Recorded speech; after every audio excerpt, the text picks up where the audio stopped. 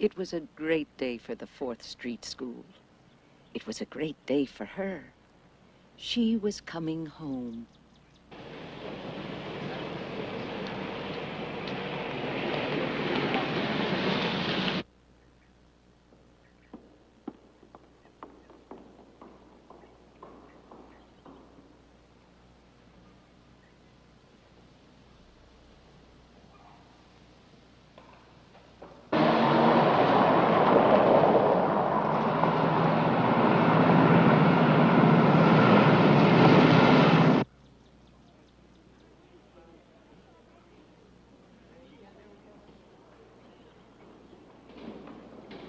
As we got closer, I had to remind her of something.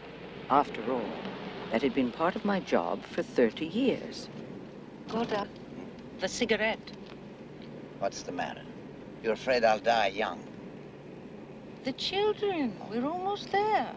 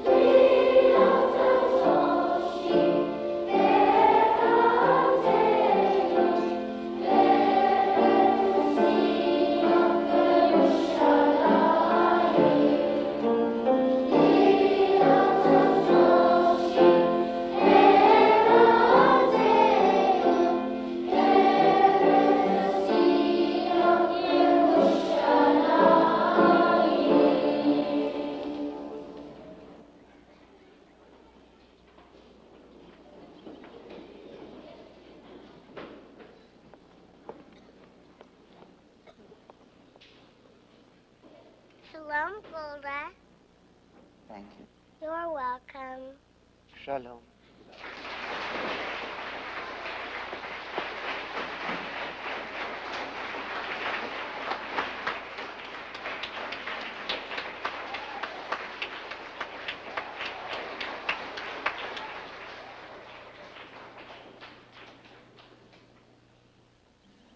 With the singing of Hatikva, the national anthem of Israel, we welcome to the 4th Street School our most distinguished graduate, Mrs.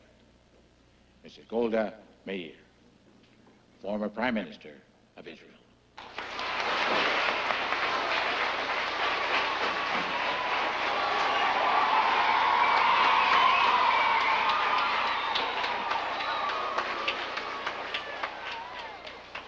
Shalom. Shalom to you. It is a beautiful word. It means hello and goodbye. But what it really means is peace. May peace be with you. Mr. Macy, members of the faculty, distinguished guests, and children, very dear children. I have tried to think how to express my feelings on coming to my old school where, as I look around, well, it's amazing. Nothing seems to have changed except me. what comes to my mind is the saying, an old Jewish saying by an ancient sage called Hillel. He said, if I am not for myself, then who will be for me? But if I am for myself only, then what am I? And if not now, when? These words have meant a great deal to me all my life, and I'll tell you why. How shall I describe her? To people all over the world, she was one of the great women of this century. Some say she was the greatest. It's hard for me to judge. To me, she was my long-time dear friend. I remember when I first went to work as her assistant. I called her Mrs. Myerson. On the second day, she said to me, Lou, would it hurt you to call me Golda, like everyone else? Yes? I want to ask, were you a good student? Did you get good marks? Well, I can remember a few A's. Uh, some B pluses, some B's. Below that, for some reason, my memory doesn't work. Mrs. Meir's memory is too modest. We looked up her record. She was valedictorian for her class. Oh. Well, I hope they didn't also look up that my teachers commented that I, I was too talkative. Uh, yes, next question? Mrs. Meir, how come you left? You Left what? America. Why did you leave America and go to Israel? Well, that's a very good question. Believe me, if I had been born in America, I'm sure I never would have left. But my earliest experiences were very different from that of an American child.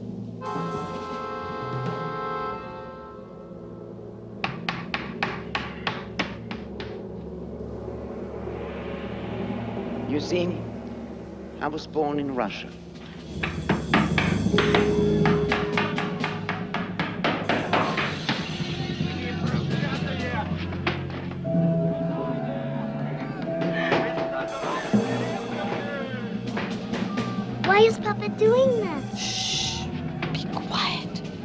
Talk so much. What's that yelling out there, Shayna? They say we killed their lord. Put the lamps out!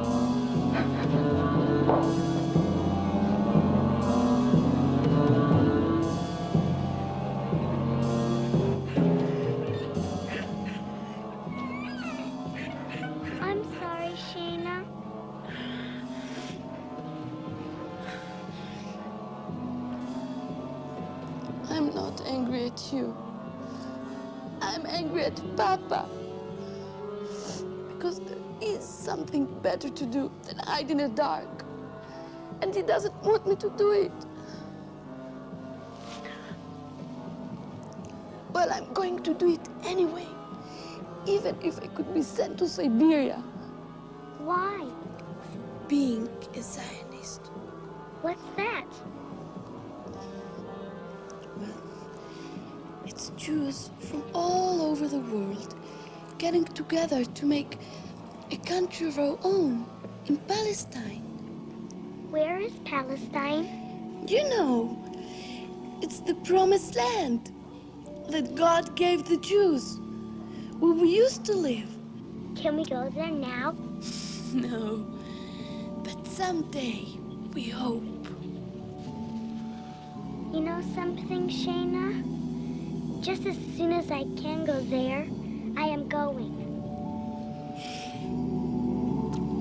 Of course, uh, Palestine was ruled by the Turkish government, and, and very few Jews could go there. But human beings just can't live in such choking, terrible fear. So my parents did what many people of different religions and nationalities were doing then to escape persecution and uh, the poverty of Europe. We immigrated to America. Thank you.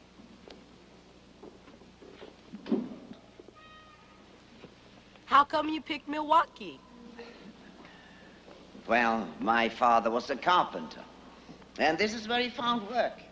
I don't remember much. I was only eight years old. Did you make up your mind then that you wanted to be a prime minister? No, no. oh, such a job I never wanted. Not even on the day I was elected. No, no. I wanted to become a teacher. I thought teaching children was the finest work a person could do. But my parents had different ideas, though. They wanted me to get married. Did you have any boyfriends? Of course I had boyfriends. Why not? But then somebody special came along. Well, he was maybe not a boy anymore. He was older than I was.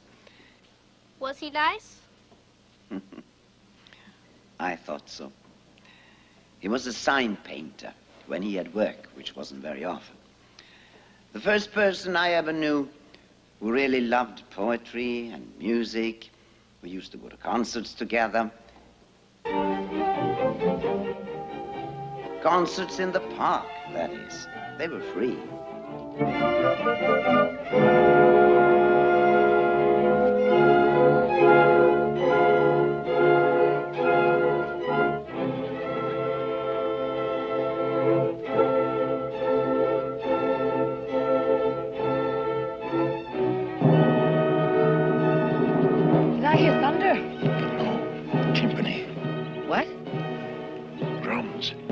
You heard drums. Shh.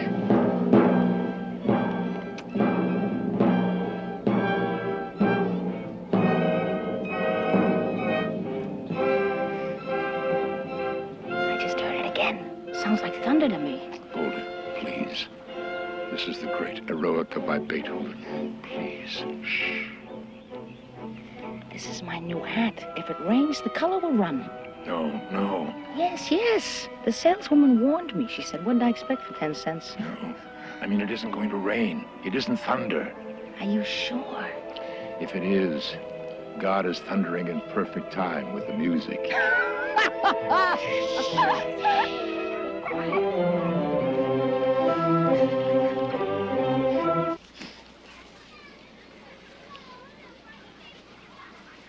sorry if I embarrassed you, Morris. Though it's not my fault you're so witty. Do you really think so? That was an extremely humorous remark. Thank you.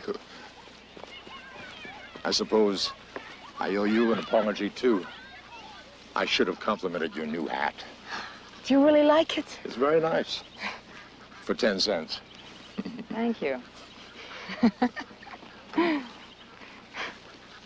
Golda, I would like to discuss something with you. Doesn't have to be now.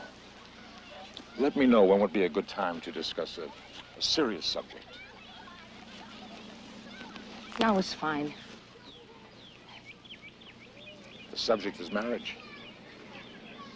As it concerns you and me, do you mean?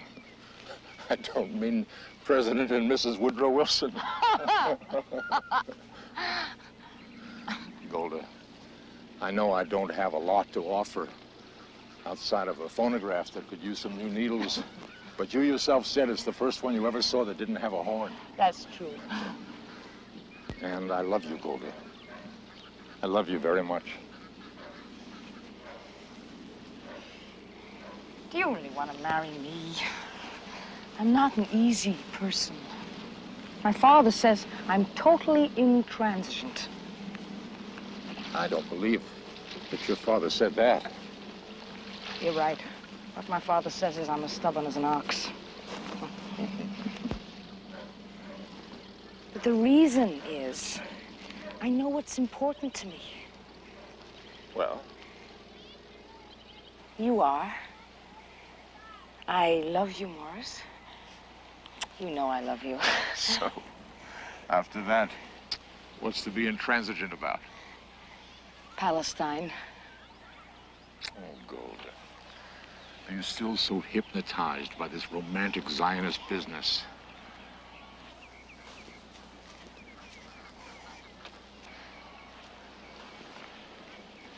I'm going to live in a kibbutz. It's a hard life from what I've been told, even dangerous sometimes. Romantic, it's not. So, why get into it? Because this is the dream I've had. Ever since I was a little girl in Russia, frightened for my life. The dream that we can have the same peace and security other people have. The only way we're ever going to get it is in a Jewish homeland. Morris, if I am not for myself, who will be for me? Golda, this is America. There are no pogroms in America. And I say, God bless America. God bless this beautiful country forever. But millions of Jews are not here and never will be. Morris, if I am for myself only, what am I? Don't you think I'm concerned, too? It's just that I don't see any chance for a Jewish state in Palestine at this time. When was there a better time? When did we have a Balfour Declaration from the British government? Quote, His Majesty's government views with favor the establishment in Palestine of a national home for the Jewish people. That's very nice. But they don't set a date. Morris, if not now, when? Your friend Hillel didn't know that your other friends, the British, would be fighting a world war. And the Turks would be the ones running Palestine. But the British will win and they'll drive the Turks out. In the meantime, you can't even get there. But as soon as I can.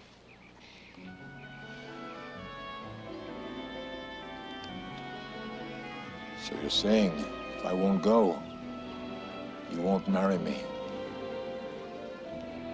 I can't very well, can I? But if I'll go, you will. I'd love to marry you, Morris. I'm sorry, Golda. I'm not going. I wish you'd think about it. Maybe you'll change your mind. No, Golda. Don't count on it. Never.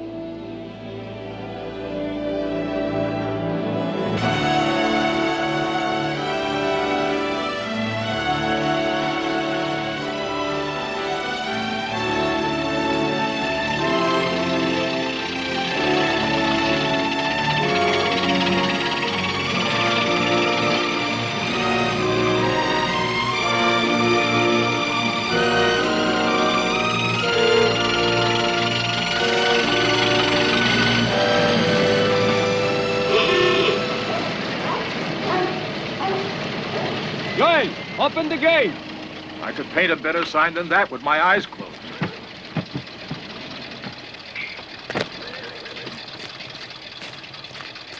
Shalom. Shalom. You're the Myersons. Yes, this is Morris Meyerson, my husband, and I'm Golda. Joel Nasher, membership committee. Hello. Hello. You should have waited to hear from us. Well, we did wait almost a month in Tel Aviv. Using up almost all of our money, I must tell you. Well, you could have saved the bus fare out here.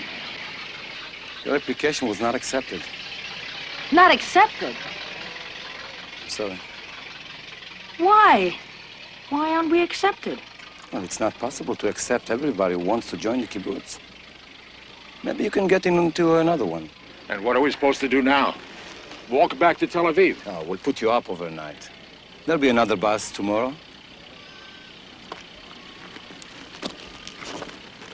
Uh, this What is a- this? This is a phonograph. I'll take care of that myself. Thank you. All right. Please.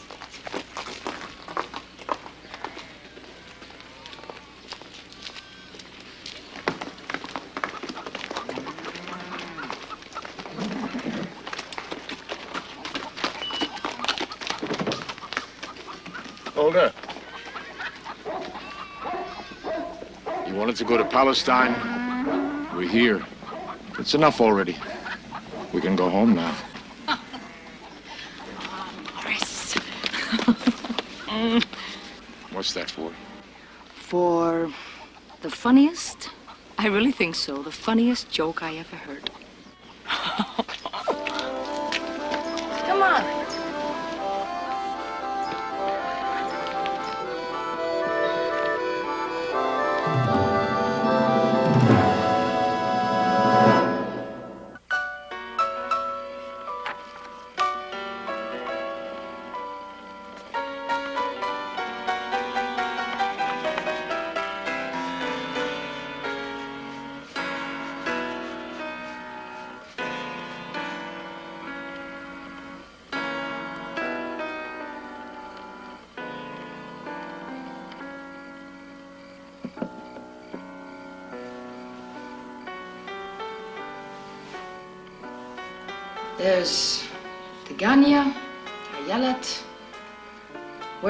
The idea this kibbutz was the best one?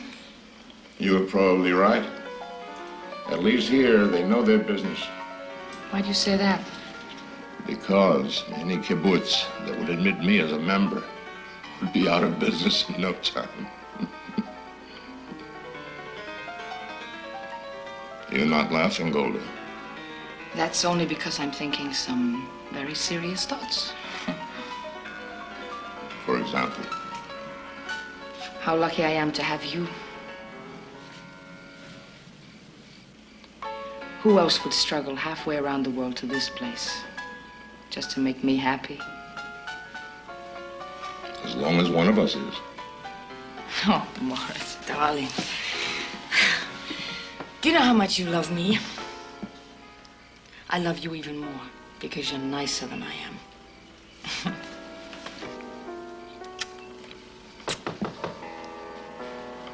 Perfect end to a perfect day. They object to the music.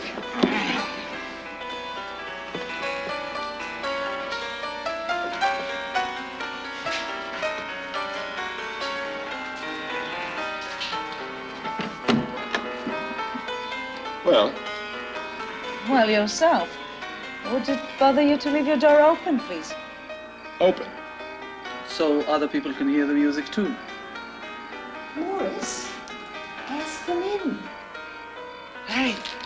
They say come on in.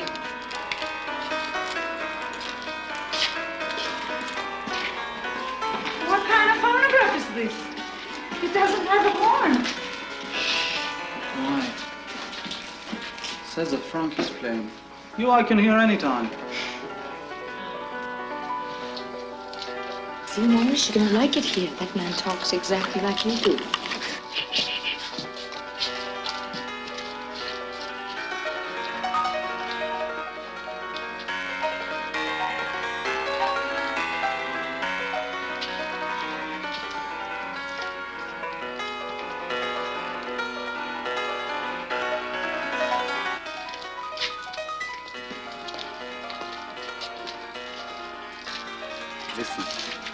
Membership committee just reconsider your application. I come so quick. I'm the chairman. You're accepted? On probation for three months. Then we'll see. We appreciate it. Thank you. Oh, you're welcome. Morris, the quinine pills on the dining room table. Did you take one? No, neither did you. We were leaving in the morning. But now we're not leaving. All right, all right. So we'll take pills in the morning. You don't expect to get malaria between now and then? do I don't know. I'm not taking any chances. You go back to the music. I'll get us quinine.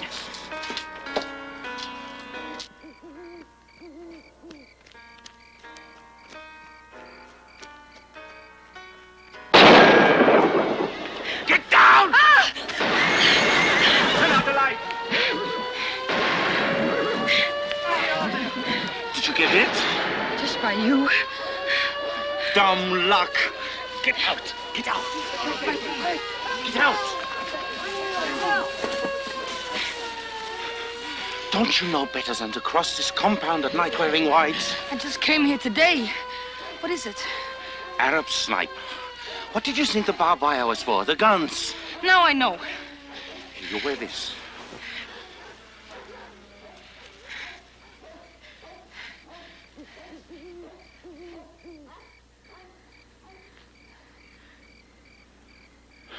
There will probably be no more shooting tonight. You can go to your room.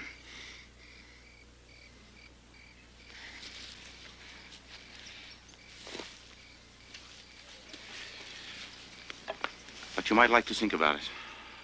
Whether you should stay here.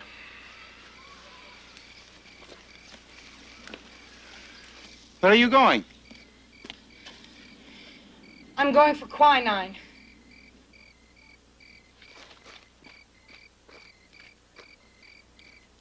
I think I should tell you what a kibbutz is.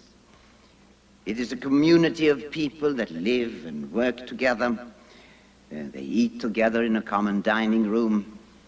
The children are cared for in the kibbutz nursery. Nobody owns anything by himself, but together they own everything. In those days, most of the work was agricultural. Was it real hard on the kibbutz? I mean the work. Oh boy, was it.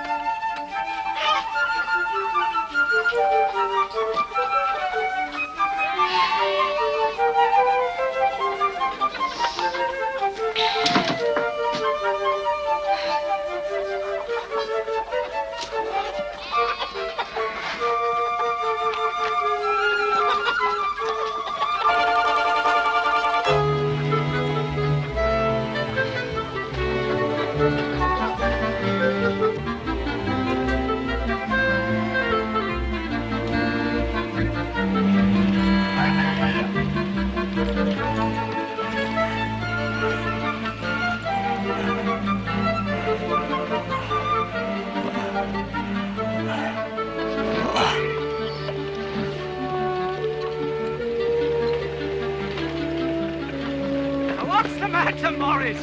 Don't these horses go in for an American accent? Hey, take a look at him. Are you all right, Morris?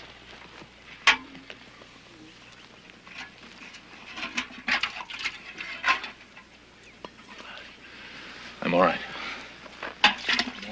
You sure?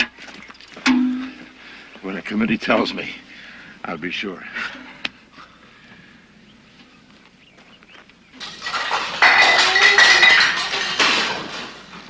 I thought this was a progressive kibbutz. It's positively Victorian. A woman's place is in the kitchen. I saw women in the olive grove. But you never saw a man in here. You know when you will see men on kitchen work? When we get women on the assignment committee. Gabi, I'm so sick of it. I'm telling them tonight. They better put me on something else. Tell them in terms of a specific assignment. Livestock, even poultry. Really? Yes, really. What's wrong with that? You'd rather feed chickens than feed people? That's a funny way to look at it. Nobody likes working in the kitchen. Well, I, I don't exactly love it either. But I don't like chickens. I think I'd be afraid to be alone in a room with a live chicken. You mean in America there are no chickens that aren't cleaned and plucked? Don't think so. Oh, the water's off again. I'll go and get a man.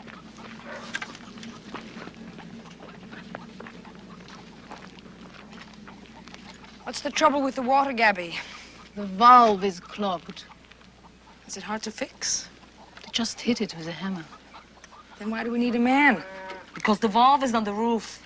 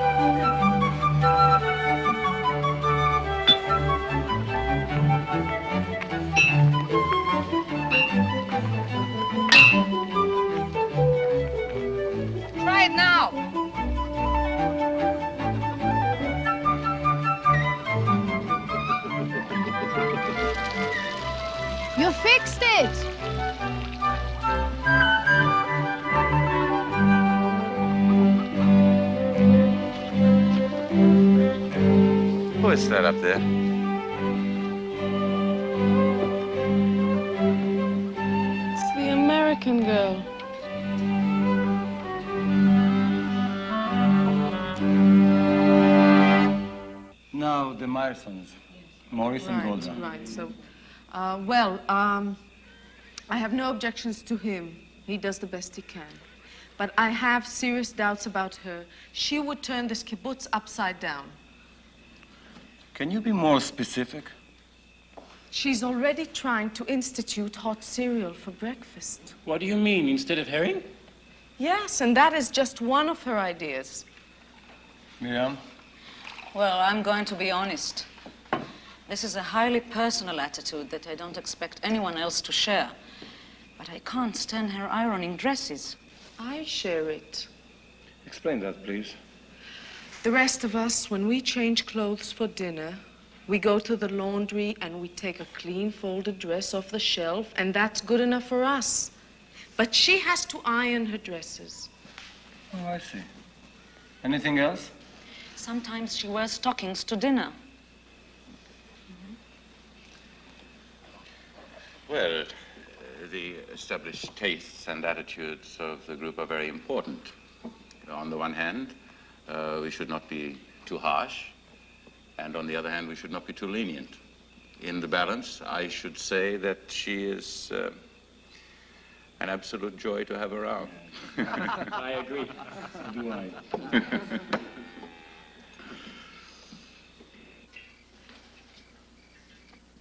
Thou beside me, singing in the wilderness. Ah, wilderness were paradise in now. Hmm. I wonder how Omar Khayyam knew to write these words for me personally. You're glad, aren't you, Morris? Yes, I'm glad. I'm glad we're still alive after three months in this place. Ah, you can joke. but you worked hard. You've made them accept you. Now we're kibbutzniks. You should be very proud. My darling Goldie, I've always been very proud of you.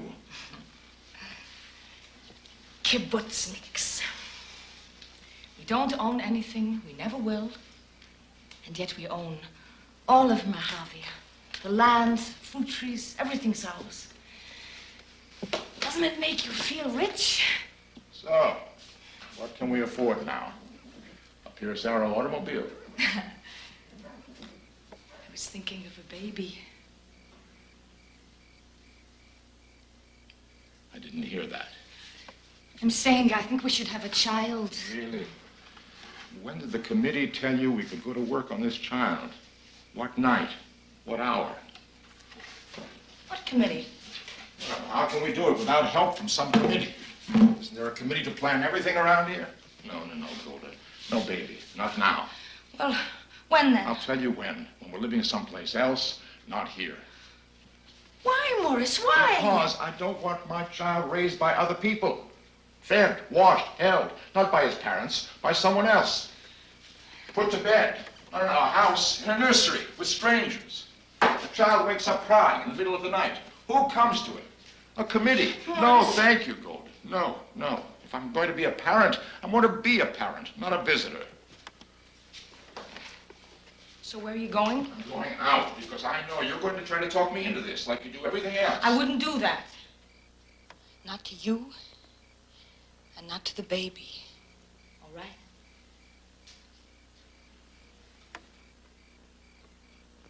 All right.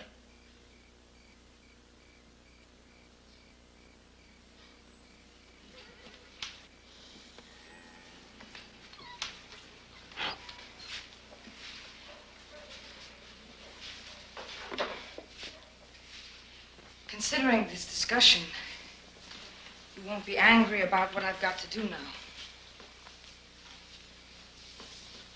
What you have to do. Well, now there's no reason for me not to agree to what they've asked me. Who asked you? A committee.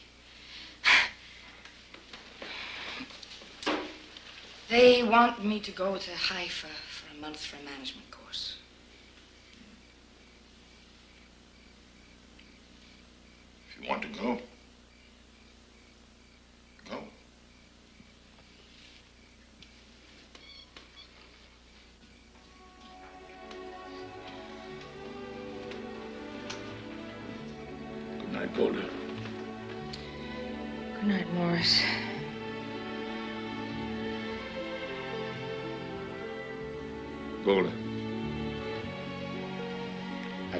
Feel bad about the baby. I'm sorry. It's no baby to feel anything about. I was thinking about the course. What is the course? How to raise chickens.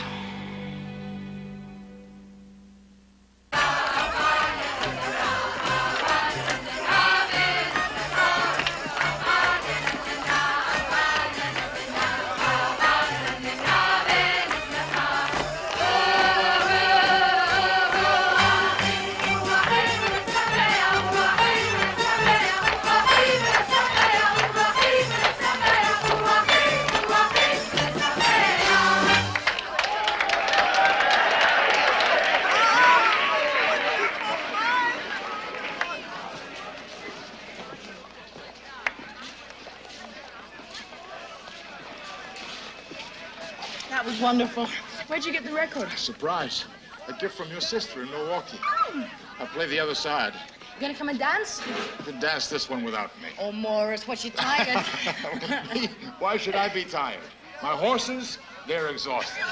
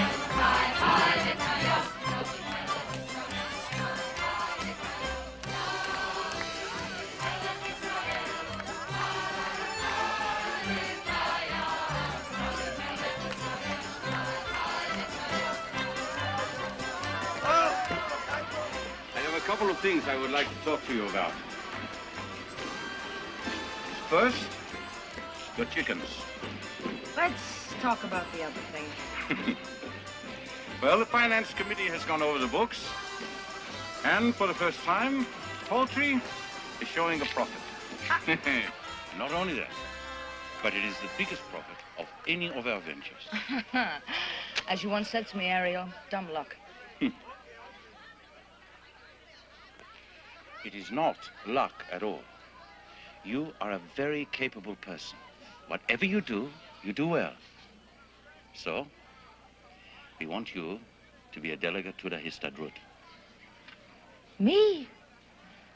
Oh, no, Ariel. I couldn't. It's only a labor union. It's the union. It, it's as big as a government. I wouldn't know what to do. I could give you a few pointers. I am a delegate also. Please, Golda, come with me. I will not let you say no. Ariel, my Hebrew's so bad. Speak English.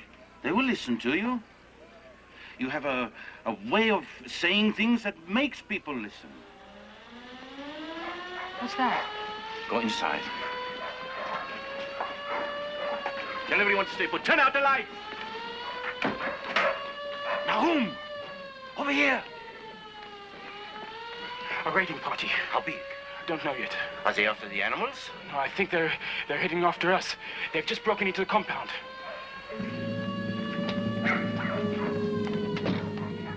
We have all lived through these things before. Who is assigned the guns this week? I have one. Come on, I, we have one too. Go and get them and bring them here. Understood? No place else. What's wrong? Phonograph. I'll get it. You get the gun.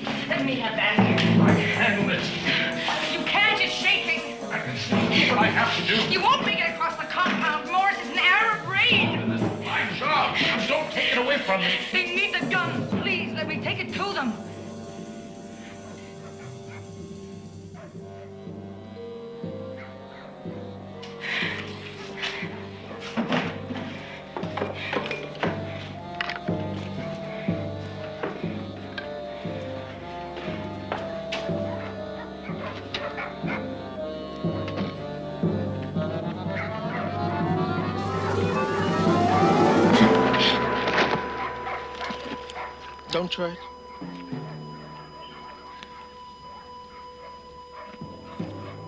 You can get up now.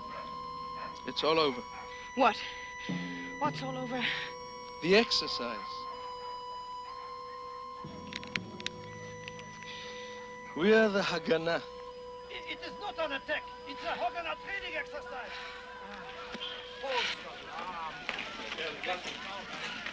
I want to know who is in charge here. I am. My name is Yuval. I'm a sergeant. What the hell kind of exercise do you call this? A totally unauthorized kind. If you want a Jewish army, you have to put up with Jews training. Why train here? Naturally, a proper training camp would be better. Trouble with that is if the British catch us at it, we'll do our next exercise in prison. We're not allowed to exist. Remember? Why didn't you tell me? I didn't want you to worry. It's only Vivax malaria. It's the mildest form. How do you know? I read about it in the library. It comes and it goes. I thought I'll take enough quinine. One day it'll just go. Oh, Dr. Myerson, I presume. Oh, not a doctor, Goldie, but I know what will cure me. You're going to leave the kibbutz? You don't mean that. You're just saying it because you're sick. No, I made up my mind last night. Why? What is it? Pride? I didn't want to take the gun. I had to. The gun, the gun. It's not the gun, Golda. It's not the gun. Not exactly. It just showed me once and for all I'm not the right person for this existence. I can't handle anything about it. Golda, I don't want to spend the rest of my life feeling sick and useless. Where will you go? It's up to you. If you'll come with me, I'll stay in Palestine. If not, I'll go back to America. Oh, Golda, uh, I know you don't want to leave the kibbutz. I didn't want to leave America. You asked me to change my mind. So, maybe this time you'll change your mind. Morris, darling. If you leave, I leave. It's nothing to change.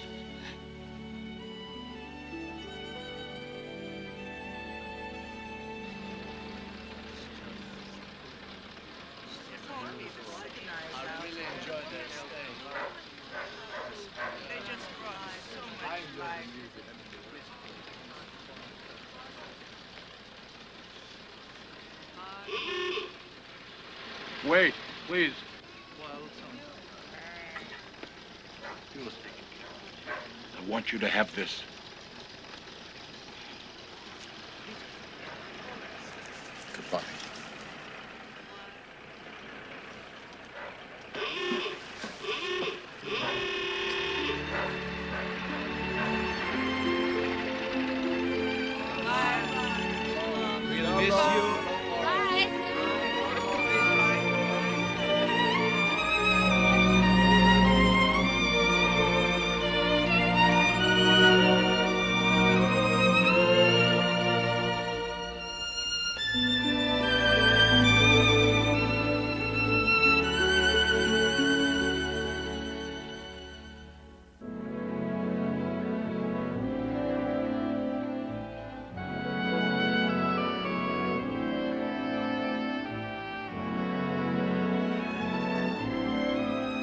So, we left the kibbutz, which I was very unhappy about.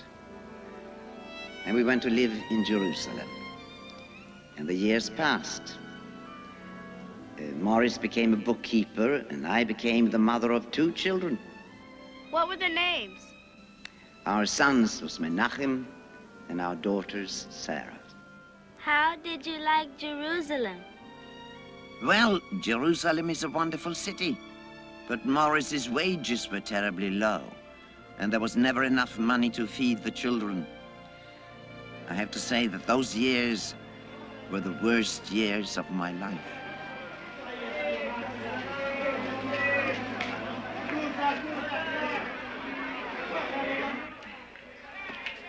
Salam alaikum. Alaikum salam.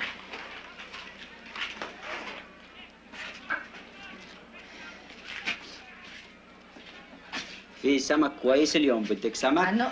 You just heard all the Arabic, I know. How much is the chicken today? That one 60 piastres, special to you. Give me 20 piastres worth.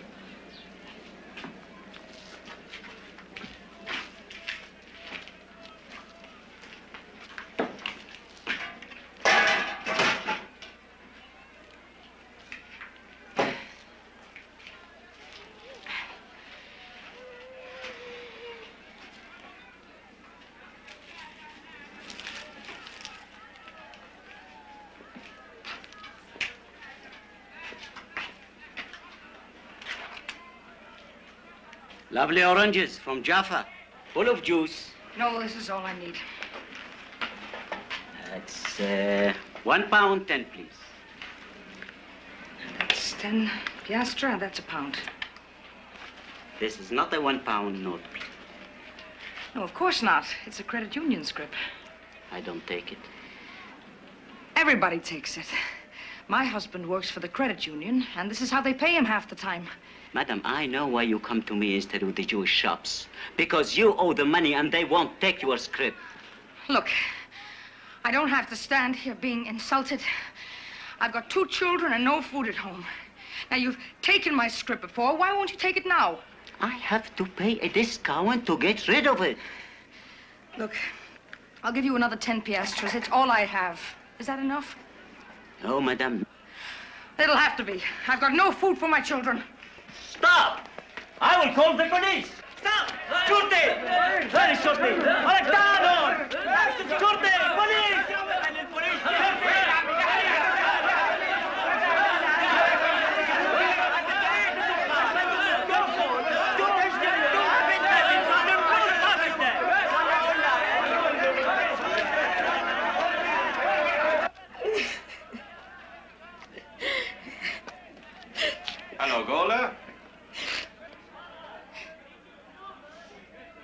my God.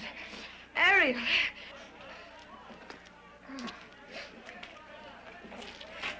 How are you? What are you doing here? Have you, left the kibbutz too? No, no, I'm uh, sort of on loan to the Histadrut. Oh. I've been in Jerusalem about a year, and uh, how are you? Oh, I'm fine. And Morris? Fine, fine. No more malaria. What about your wife? I heard you got married. Yeah, to uh, to Gabby. You remember her from Merhavia? Yes, I remember Gabby. She's fine. And uh, where are you working, Golda? Oh, I'm sort of retired. You're not working? Well, I wouldn't call bringing up two small children exactly loafing. Well, I wouldn't call it anything very much, considering how badly we need your capabilities. اه انا شرطي يا عمي شرطي اسمع هذه المرة دخلت دخاني دكاني هو يا What appears to be the difficulty, sir? There is no difficulty, Sergeant. A good man, will you accept this uh, pound note in exchange for this miserable credit union script? Pleasure, sir. All right, come on, it's all over. Come on, Grandad, off you go. مدام مدام تفضلي نشان الولد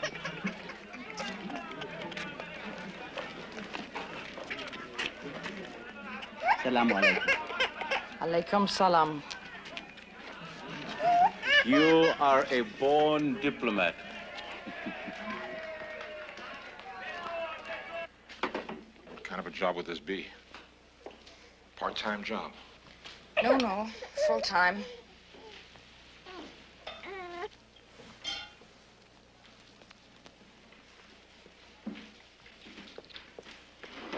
You really think you can handle a full-time job with everything else? I've got no choice. That's the job. Secretary of the Women's Council. Ariel must be a big man in the Histadrut. He can offer you something like that. They need someone who can speak English fluently.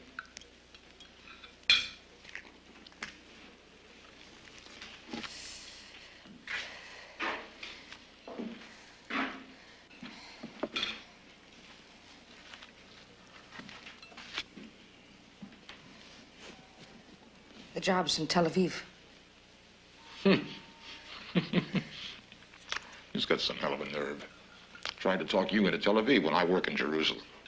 He didn't have to try very hard. I took the job, Morris.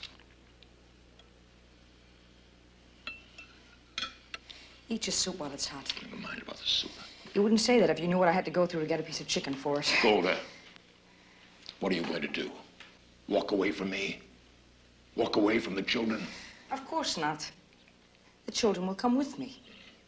Who'll take care of them all day while you're working? My sister will help. My mother and father are coming out next month. I can get very good babysitters through the Women's Council. So you have it all figured out. Yes. What about me, Golda? What do you have figured out for me? A job in Tel Aviv, as soon as you can find one. And in the meantime? You could visit us on weekends. Oh, Golda. Tell me it's not definite, Golda. Tell me you wouldn't make a decision like this without at least discussing it. No, I've discussed enough. With whom? With myself. How many more years am I supposed to throw away fighting with shopkeepers? I came here to work and to build a homeland. This is not something I feel like doing. It's what I started out to do with my whole life. And nothing's going to stop me anymore.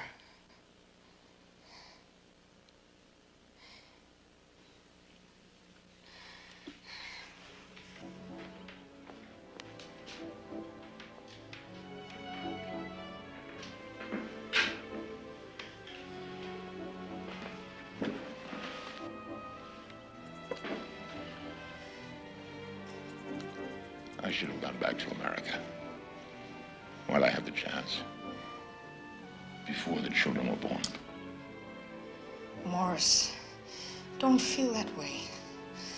Please give things a chance to work for all of us. I'm going to try very hard to make them work. I promise you.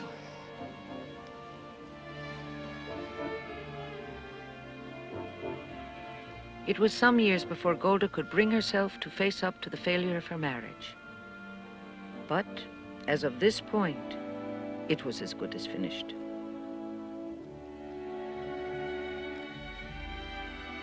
There is a type of woman who cannot let her husband and her children narrow her horizons.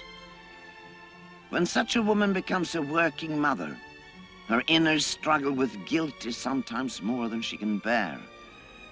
I remember my own feelings all the time my children were growing up, and even afterward. I would wonder, what do they feel towards me? What do they really have in their hearts? Because there's no doubt I neglected them.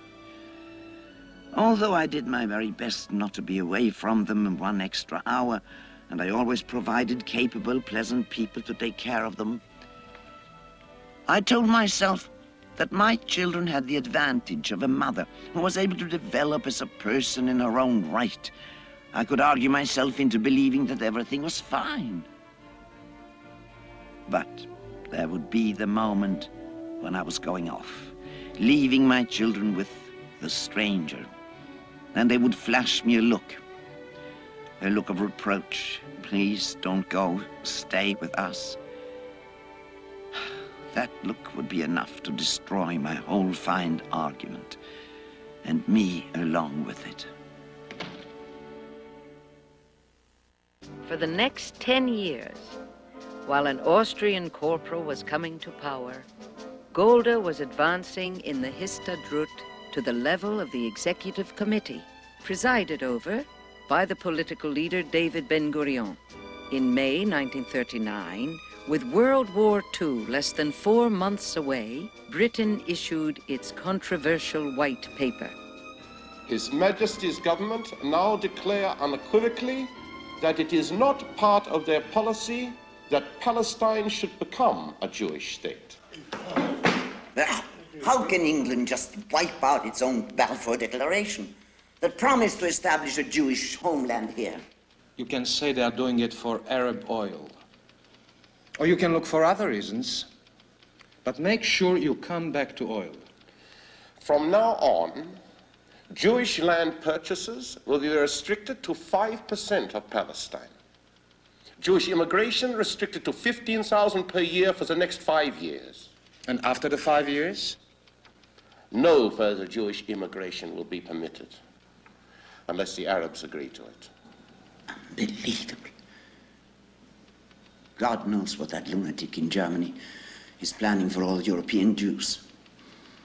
This is their last chance to escape. Their only hope is to come here. And this is the time the British government picks to slam the door in their faces. Well, we must fight this, whatever we do. Fight the British? Damn right. The trouble with that is, when the war breaks out, the British will be on our side fighting Hitler.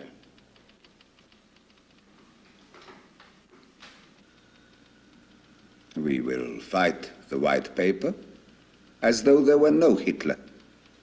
And we will fight Hitler as though there were no white paper.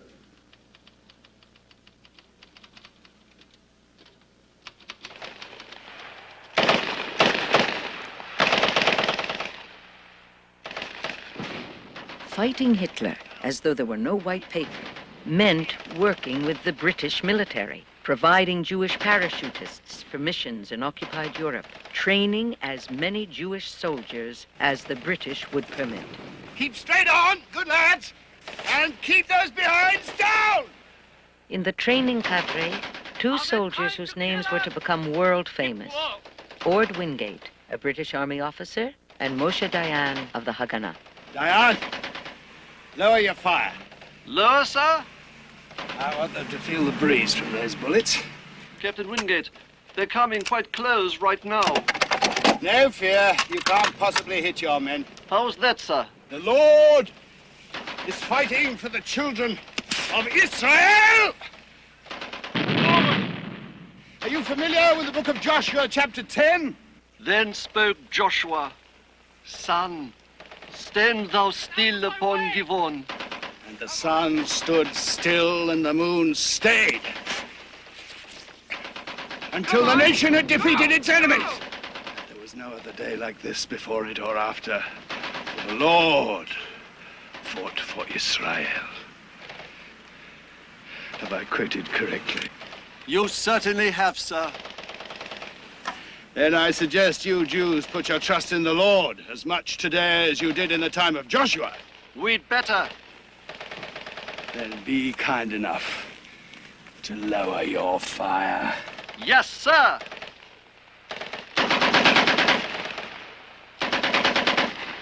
Well, the situation in North Africa is this. The Germans are threatening to sweep through Egypt, take Cairo, and invade Palestine.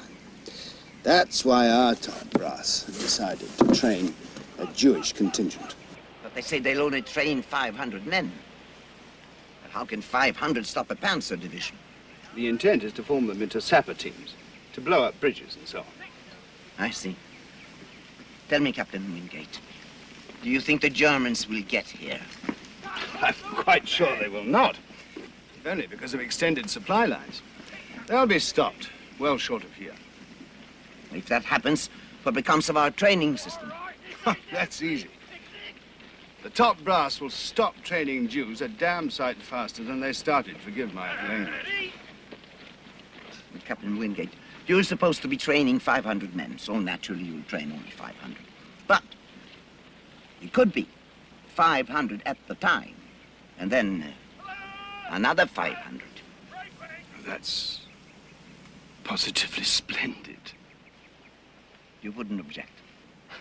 Mrs. Myerson, I won't be here very much longer. I'm being posted to Burma. Therefore, whilst I'm still in the land of Israel, I consider it my duty to help the children of Israel to take advantage of the opportunity that God has given them. Wonderful. Fighting the white paper as though there were no Hitler meant smuggling immigrants into Palestine under the guns of British destroyers. We have an incoming vessel, the Delos. Tell her to alter course. British destroyer patrolling here. Delos, huh? Greek ship? Should only be a ship. It's an inter-island ferry.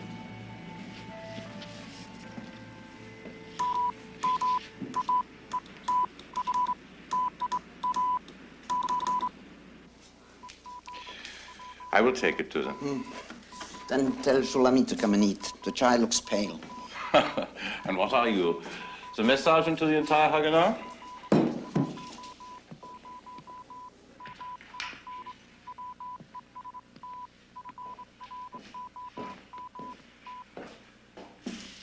She says you should go and eat. She says the child looks pale. Can't eat till I'm relieved. Then I will relieve you, pale child. Hand over the Tommy gun.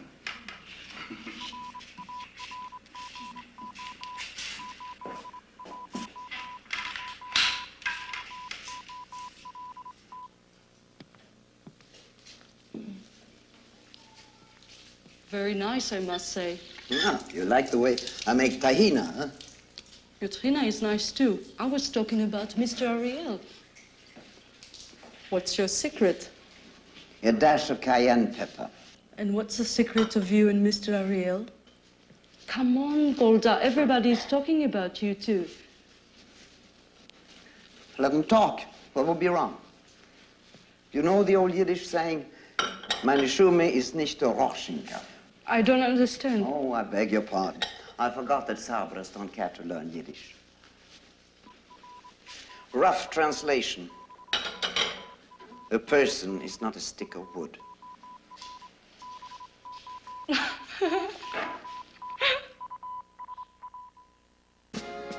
In April 1945, German concentration camps were liberated by victorious Allied soldiers who have never been able to forget the horror of what they saw.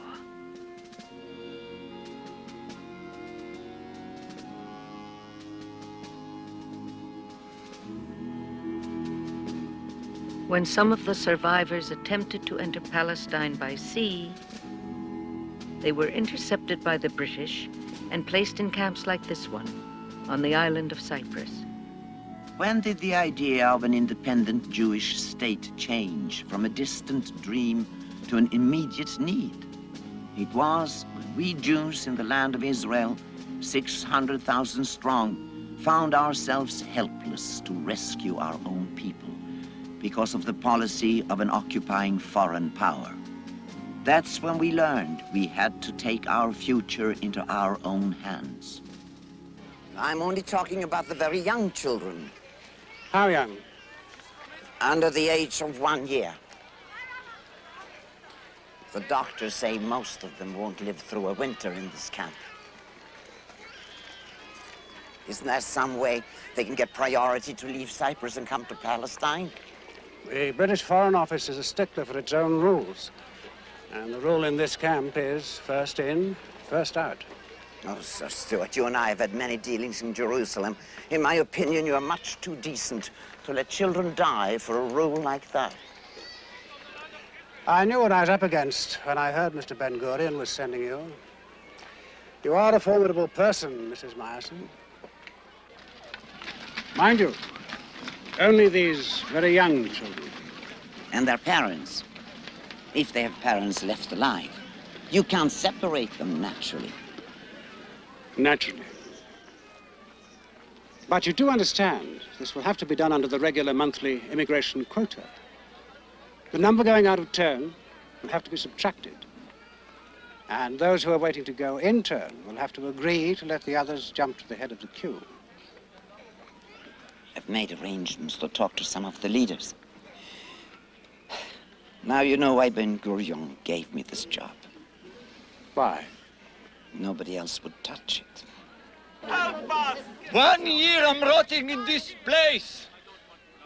One whole year. You're trying to say somebody who came last week should go ahead of me. No, I'm saying a child, yes. I'm sick myself. If I'll stay much longer, I'll die here. No, no, we're trying to get you all off.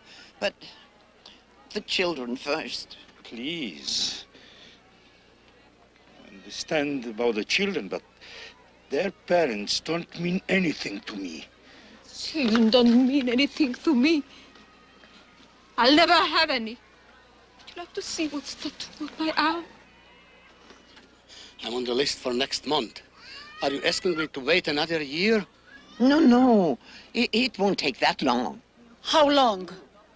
How long? It could be forever. No, no, why?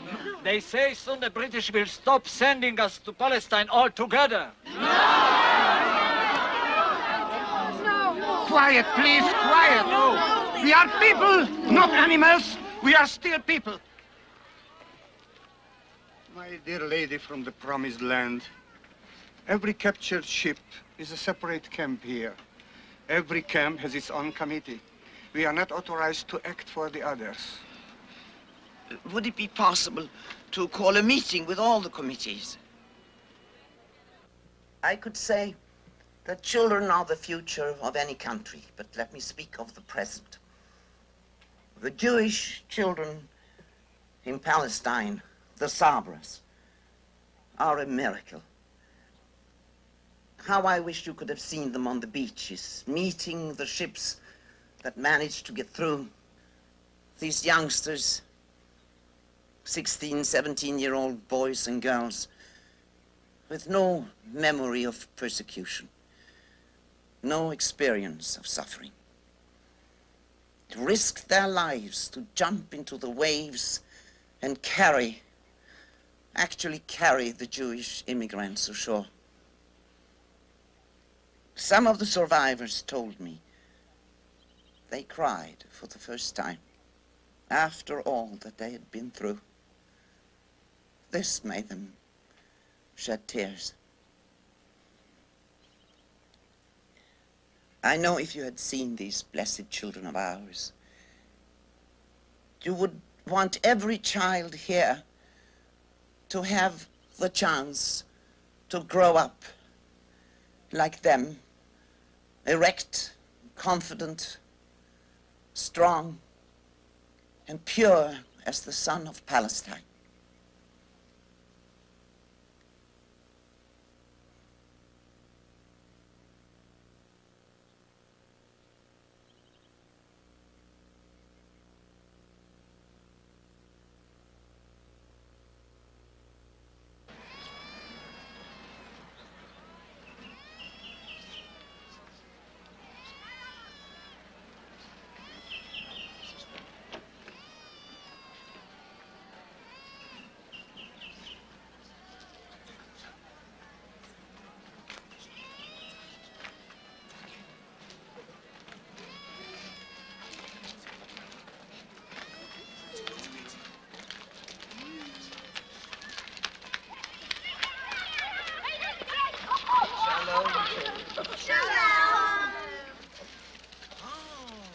For beautiful flowers.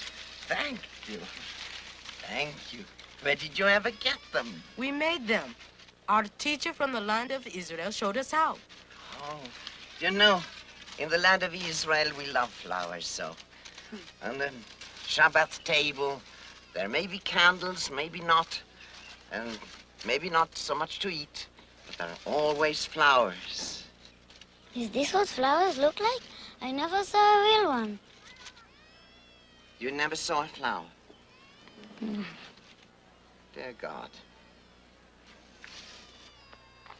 Mrs. Uh, Myerson?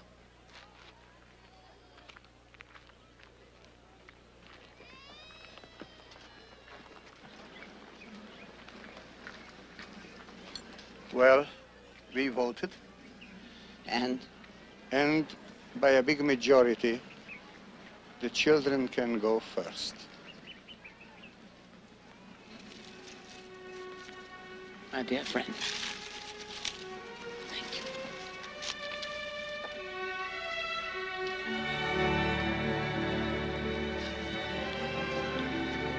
Martin?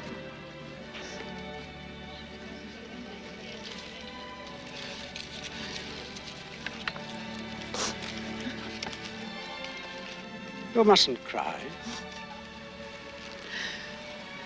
You can be very, very proud of your people. They've nothing left in the world but a place on a list. And they've given that up for others. It's to the everlasting credit of the human race, Mrs. Myerson. Why should you cry? I'm crying for the children. Never saw a flower.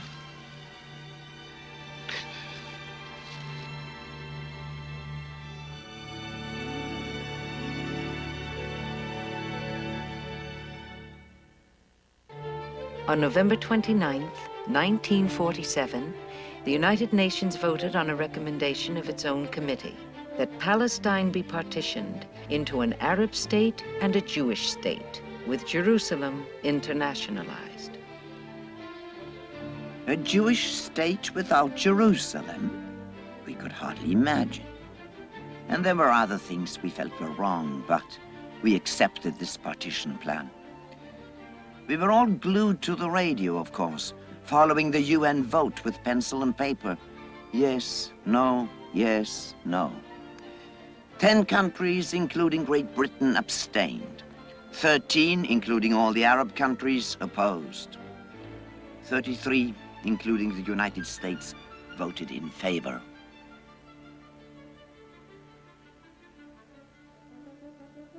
As of midnight, local time, we have the right to be a state. On behalf of the Jewish Agency, I want to say something to our Arab neighbors.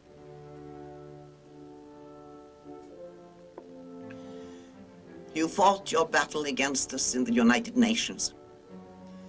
The majority of the countries in the world believe that this is how it should be.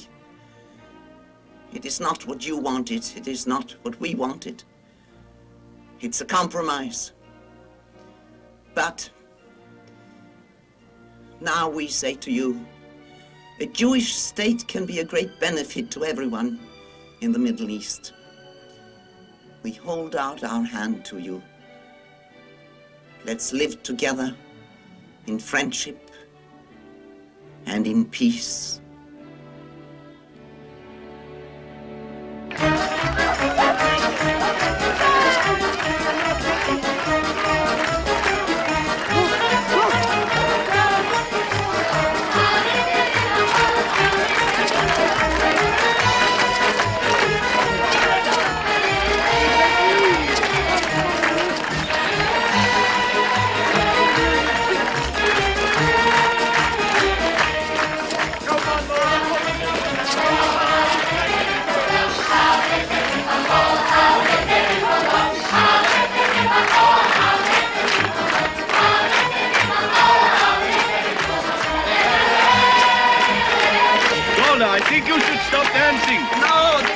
to dance. Tomorrow we may not feel like it. I still think you should stop dancing. There's someone wants to see you.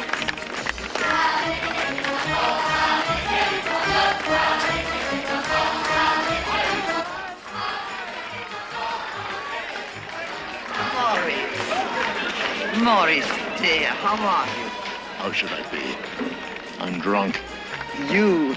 Nonsense. Well, the whole country is drunk with happiness. And you, Golda, you should be the happiest one of all because you worked so hard for it. That's what I came to tell you. How nice of you, Morris. I appreciate it very much.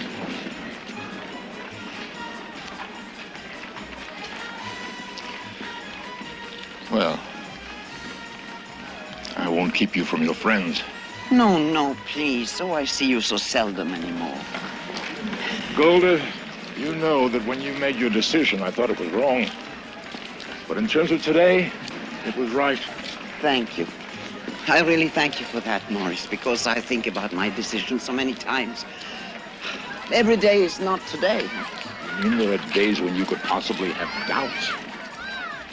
Last Sunday, for instance, Menachem's recital. You knew about it. Hmm. I thought, considering how busy you are and how much you travel... I knew, but I couldn't make it.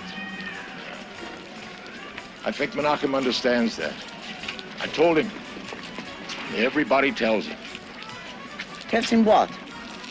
With his mother. The country comes first.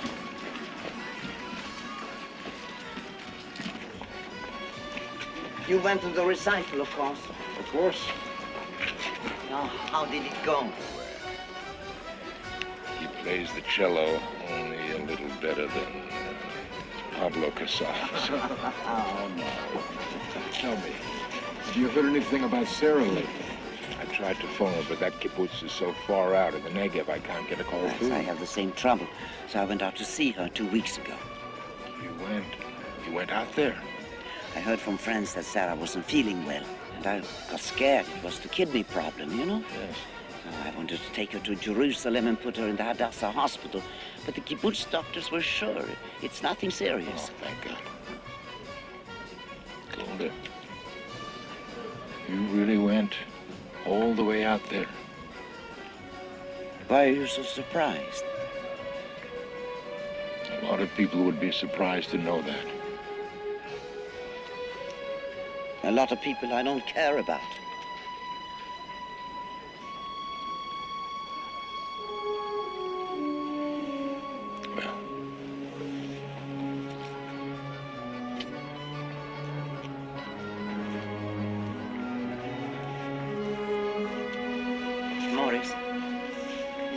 All right with you? Is there anything... everything's fine. Couldn't be better.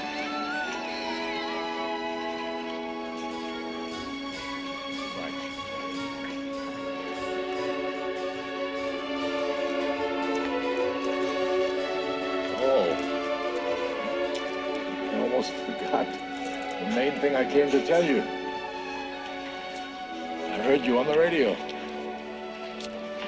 Wonderful, Golda. Wonderful speech.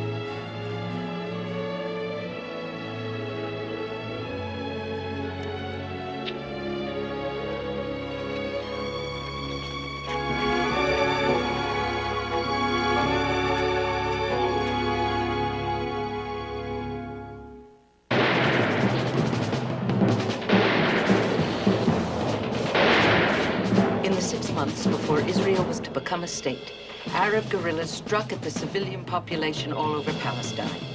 They ignored the United Nations partition plan, which called for a transition period before British forces pulled out.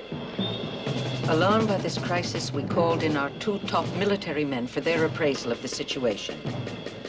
Yigal Yadin, Chief of Operations, and Yisrael Galili, the Haganah commander. So, what is the position?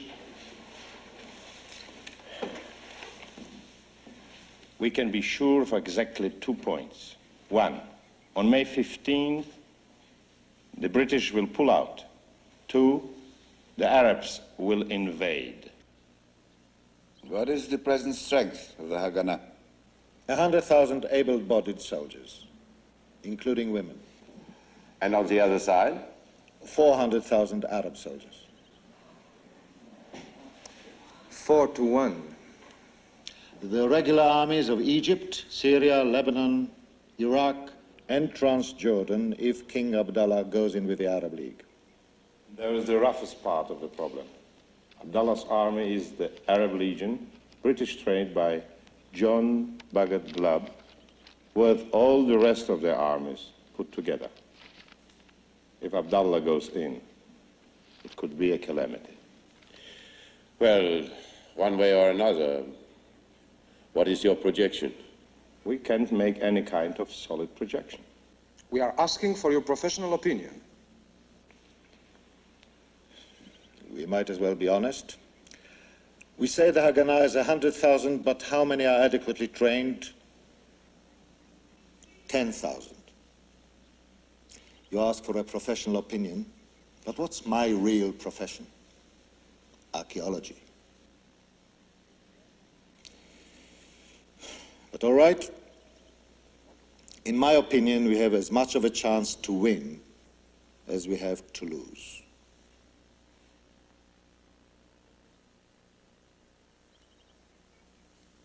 Fifty-fifty. Could be worse.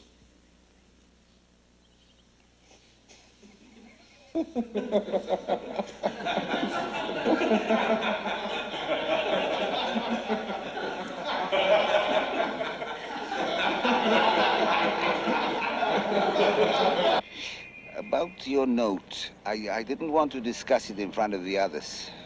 But why do they think Transjordan would go in with the Arab League? King Abdullah himself assured me he wouldn't attack. Our latest intelligence says the opposite. I can't believe it. Well, let me see if Abdullah will meet me at the border again. No, he won't. I've made inquiries. You know our Arab expert, Ezra Danin. Yes. Danin says that Abdallah will meet you, but not at the border. This time you will have to go to him, to his capital. I'll go there. I'll go to Amman. It is risky. I wouldn't let you do it, except that if somehow, God knows how, if you could keep Abdallah out of the war, it might save us. When can I go? As soon as we get a plane. People ask sometimes if I was nervous about flying in those little two-seater planes, especially in the days when we couldn't service the engines properly. I don't think I was very nervous. I'd be too worried about whether or not I'd be able to do the jobs I was sent to do. Another reason was I could usually tell the pilot was nervous enough for both of us.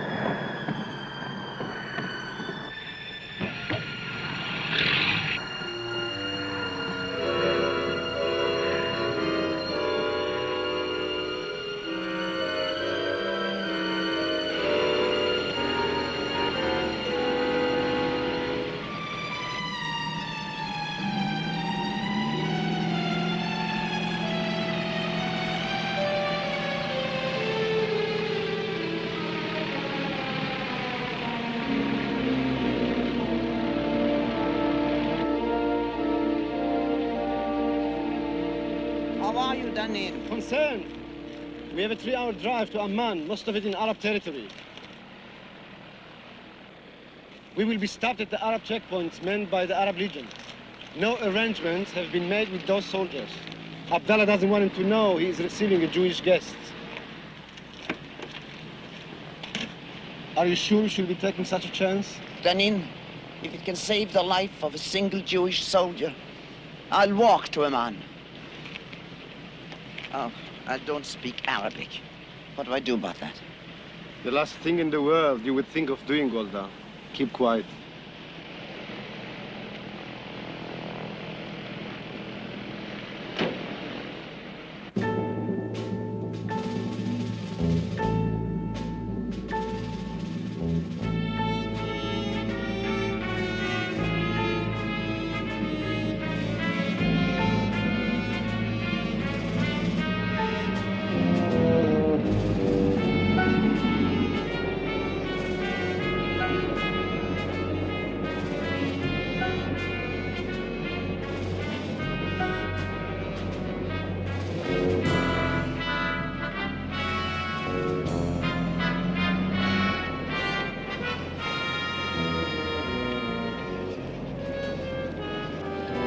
Checkpoint.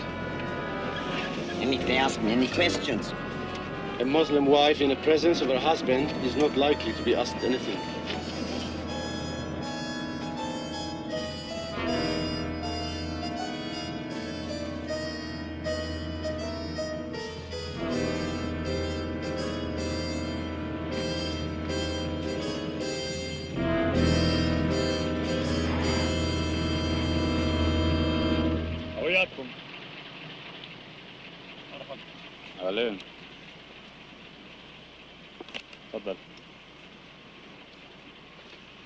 هوياتكم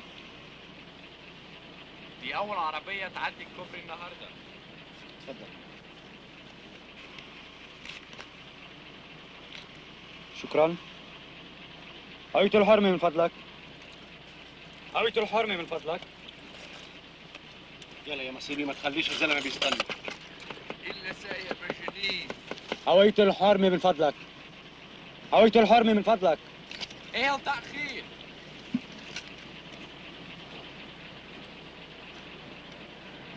حرمه من الشكل بتجنن.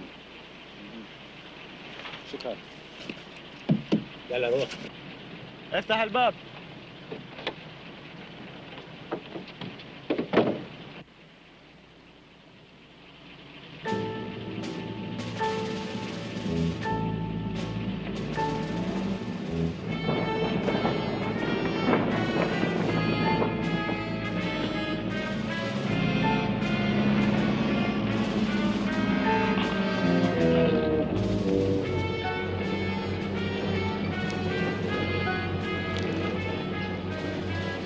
Women don't smoke?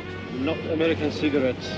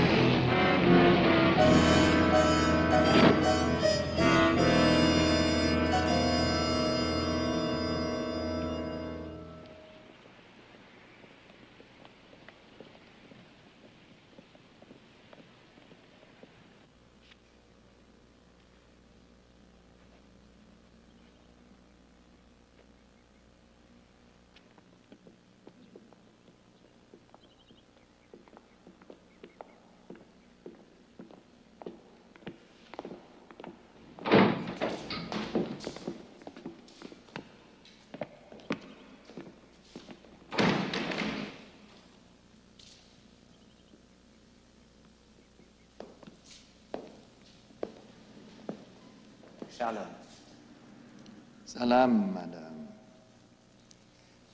Assalamualaikum, Tanina Zizi. alaikum, Habib Jalali.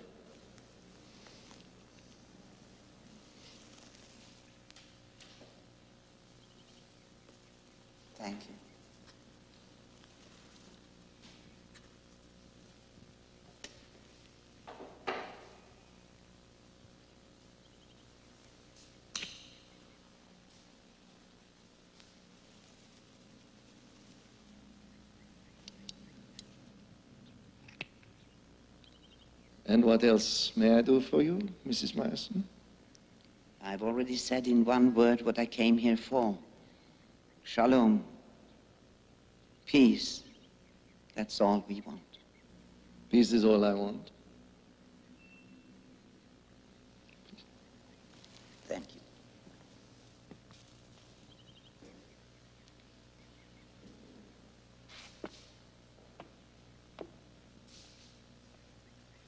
Your Majesty, the last time you and I met, we talked about what you thought was the role of the Jews in the scheme of things. Yes. I believe with all my heart that God scattered the Jews throughout the Western world for a purpose. His divine purpose was for you to absorb Western knowledge and progress, and then return to the Middle East and share it with us, your fellow Semites. You said you'd always be our friend, that you'd never join in any attack on us. I am still your friend. The last months we have heard that you were under pressure to join with those who intend to attack us. Pressure is something I am always under.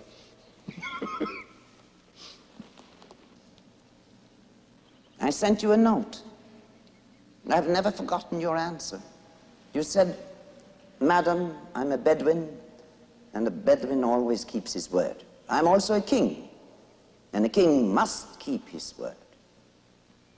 But beyond all that, I never break a promise I give to a woman.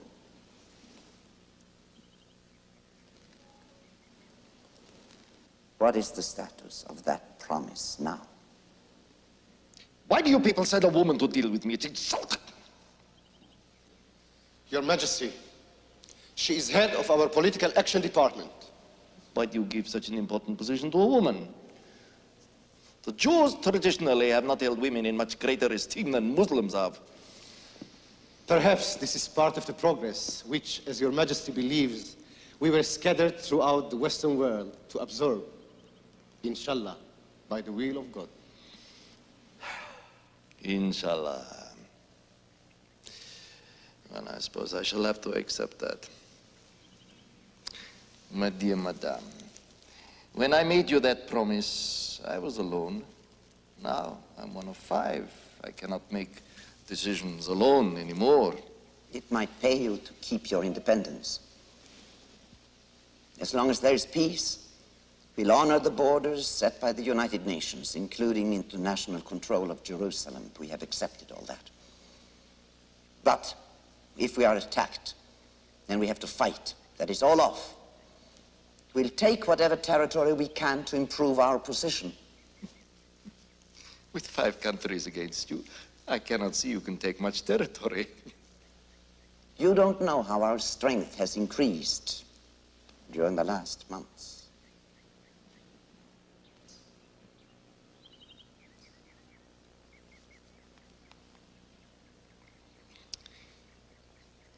I understand that you have a daughter living on a kibbutz in the Negev. Revivim? Yes. I happen to know that it is directly in the path of the Egyptian army's plan of attack. You should take your daughter away to some place safe. I appreciate you telling me this, I really do.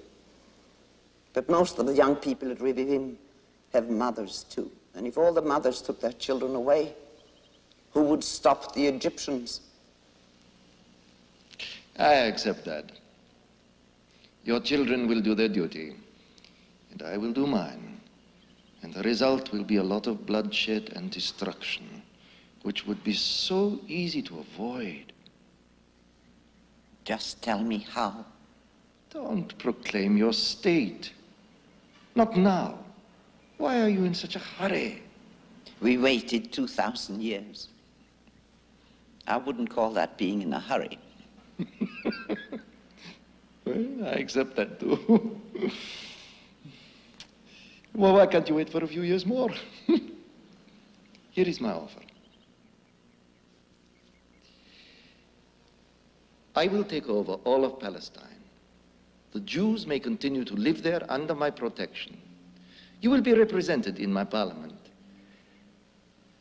I will take very good care of you. You have my promise. Why do you not believe it? Promises aren't good enough for us anymore. That is the only way I can help you. Why are you so stubborn as to refuse me? Because we must have our own state, and the time is now.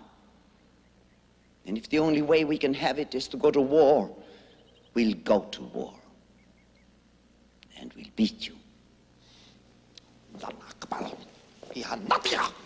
I've enough! If there is a war, it will be her fault. All. Her fault! Because she is a stubborn, arrogant, damned woman.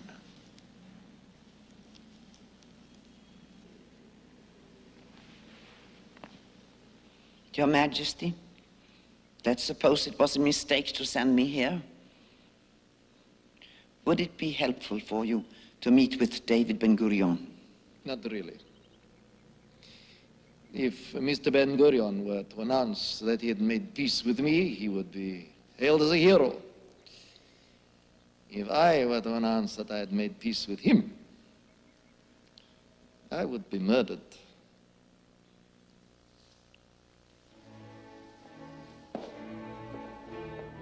Less than four years later, King Abdullah was shot dead by an Arab assassin. At that time, I thought, dear God, what would have happened to us had we been a minority in an Arab country under his protection? But on this night, I could only think about the Arab Legion joining four other armies against us. The Legion had tanks. All through the long, dangerous trip back, I said to myself, I failed. There will be war.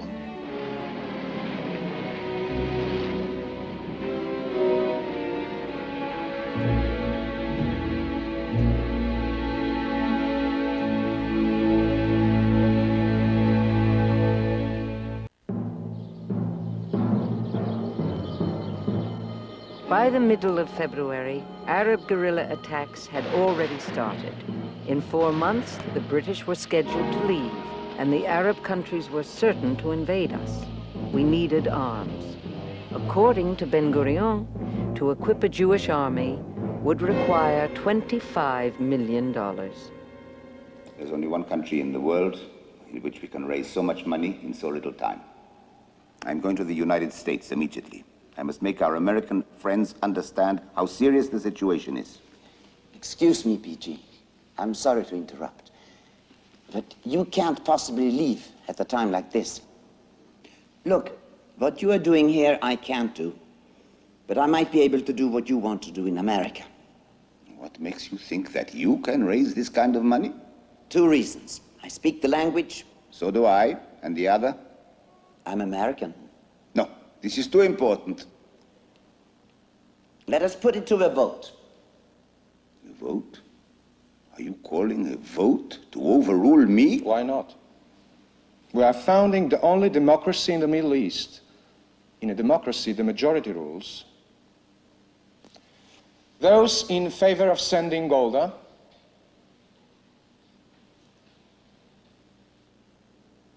Opposed? None. Golda goes.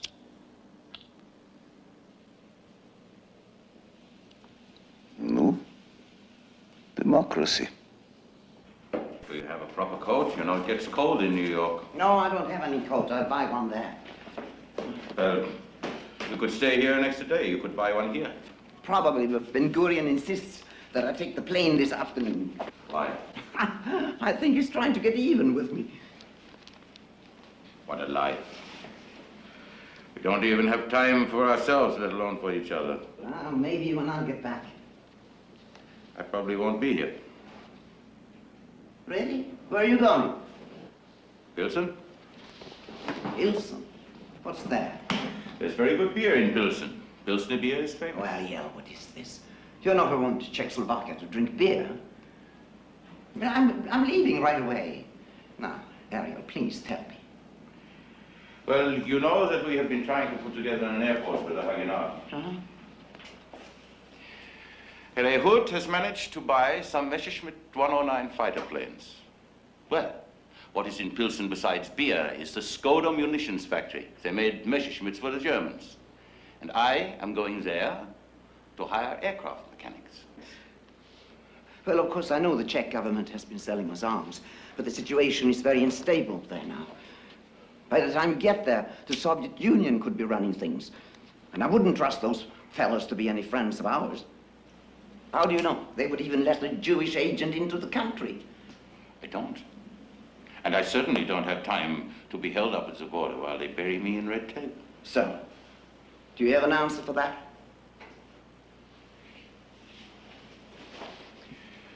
Well, I uh,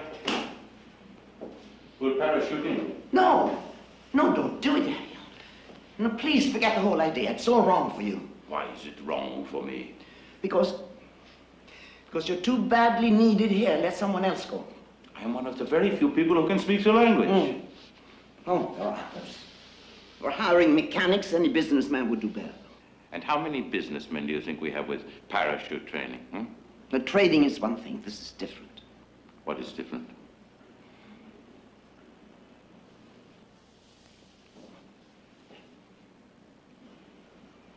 We'll never see each other again. Do you really think that you can talk me out of going? Not for a minute. You have to understand, Mrs. Myerson, this is not a Zionist organization.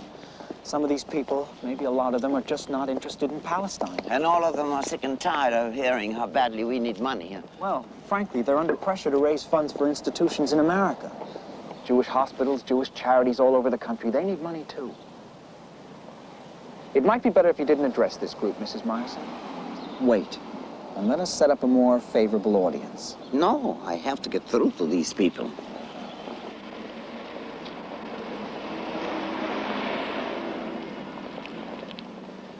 Well, then, it might be a good idea if you let me take a look at your speech. I haven't prepared a speech. You mean you don't know what you're going to say? I'll know when the time comes to say it. Please believe me when I tell you I did not come to the United States only because 700,000 Jews are in danger of being killed. That is not the issue. The issue is that if the Jews of Palestine survive, then the Jews of the world survive with them. And their freedom will be assured forever. But if these 700,000 are wiped off the face of the earth, then there'll be no Jewish people as such. And for centuries to come, all our hopes and dreams of a Jewish nation, a Jewish homeland will be smashed. My friends, when I say that we need money immediately, I don't mean next week. I mean right now. In less than four months, we'll be fighting for our lives against cannon and armor. It is not for you to decide whether we'll fight. That decision is taken. We will fight. We'll pay for the birth of our nation with our blood. That is normal.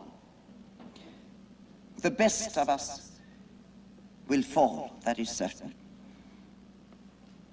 There is only one thing for you to decide, whether we'll win or we'll lose.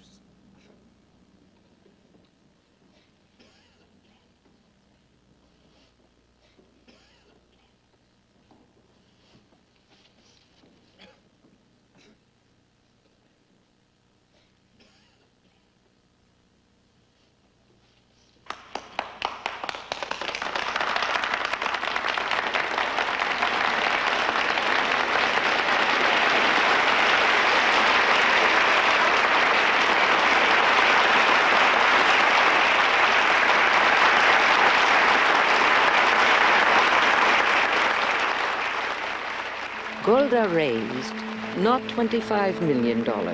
She raised 50. The money went directly to the capitals of the world, where Ben Gurion had sent agents to purchase arms for the Haganah. And in a converted museum, one day before the scheduled pullout, an historic event. Exiles from the land of Israel. The Jewish people have returned believing in their self-evident right to be a nation like all other nations in their own sovereign state. I imagine every people that declares its independence goes through difficulties. But for us, there was such deadly danger that some of our friends strongly advised us not to proclaim independence. But we were determined to do it anyway.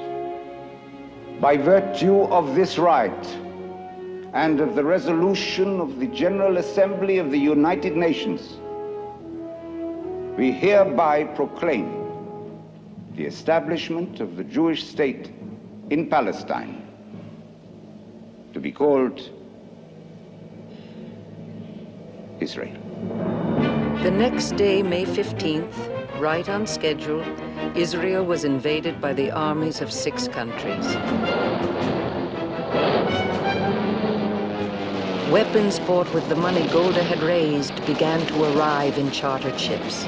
Rifles, hand grenades, artillery pieces. One of the first ships brought 10 Messerschmitt fighter planes and aircraft mechanics from Czechoslovakia.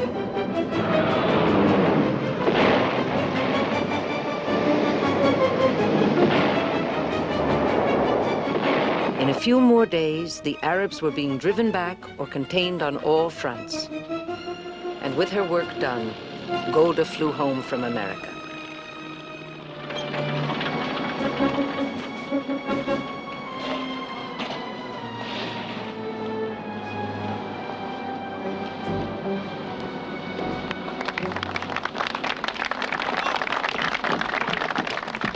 Hello, Golden. I'm going to make a speech. It will be short, so don't expect much. All right, BG. One day, when history is written, it will be recorded there was a woman who made it possible for the Jewish state to be born.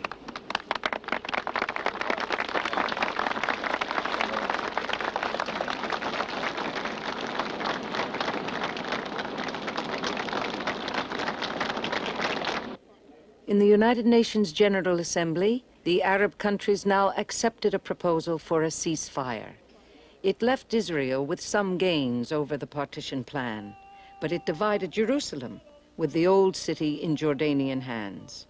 And despite the UN agreement, for the next 19 years, Jews were denied access to their holiest site, the western wall of Solomon's temple.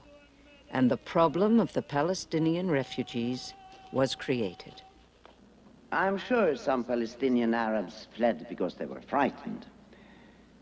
But many left because their leaders told them to, promising that after we were driven into the sea, they would come back and take over Jewish property. Of course, we were not driven into the sea. And those people became homeless. None of the Arab countries would give them a home. Only two would even let them in, and they confined them to refugee camps. They are the only people in history to remain refugees after 30 years.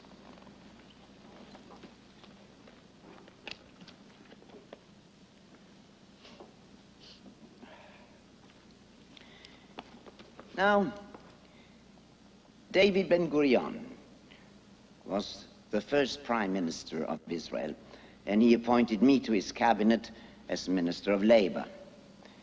So I needed an assistant, and a lady named Lou Kadar applied for the job. I speak English, French even better. I was born in France. How are you at writing letters? Oh, would you like to see a sample? I read that a stevedoring company executive just died. You might want to send a letter of condolence. What a beautiful letter. Did you know this man? Yes, actually. Was he as much of a saint as you say? He was a son of a bitch.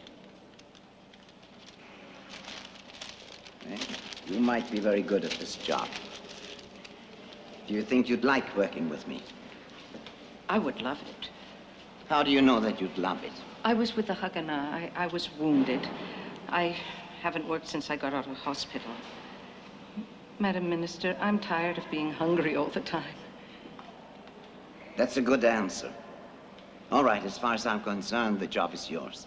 But I have to check with Ben Gurion before it's definite. Oh, will that be a problem? Absolutely not. No problem at all. What's the name again? Kadar. Lou Kadar. Never heard of him. Her. The point is not whether you've ever heard of her. Correct. The point is you don't need her. I'm sending you a very fine man. He's been liaison to the Zionist office in Geneva. He can not only write you effective speeches in Hebrew, but also in English, and French, and Spanish. Plus, he's a very great administrator. He'll make your office run like a watch. His name is Rottenberg. Well, you seem to be very enthusiastic about him. I am enthusiastic about him. Fine. You take Rothenberg for your assistant, I'll take Lou Kadar for mine.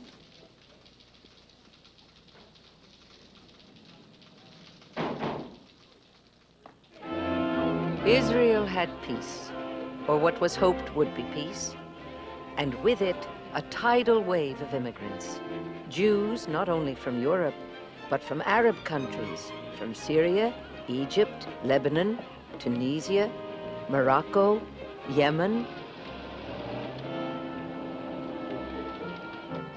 The Minister of Labor had to find them jobs. Shalom, Mr. Friedenthal. Shalom. How is it going? Well, Madam Minister, you have to understand that these men ever held a brick or a cement block in their hands before. Oh, I do, of course. We depend on you to teach them.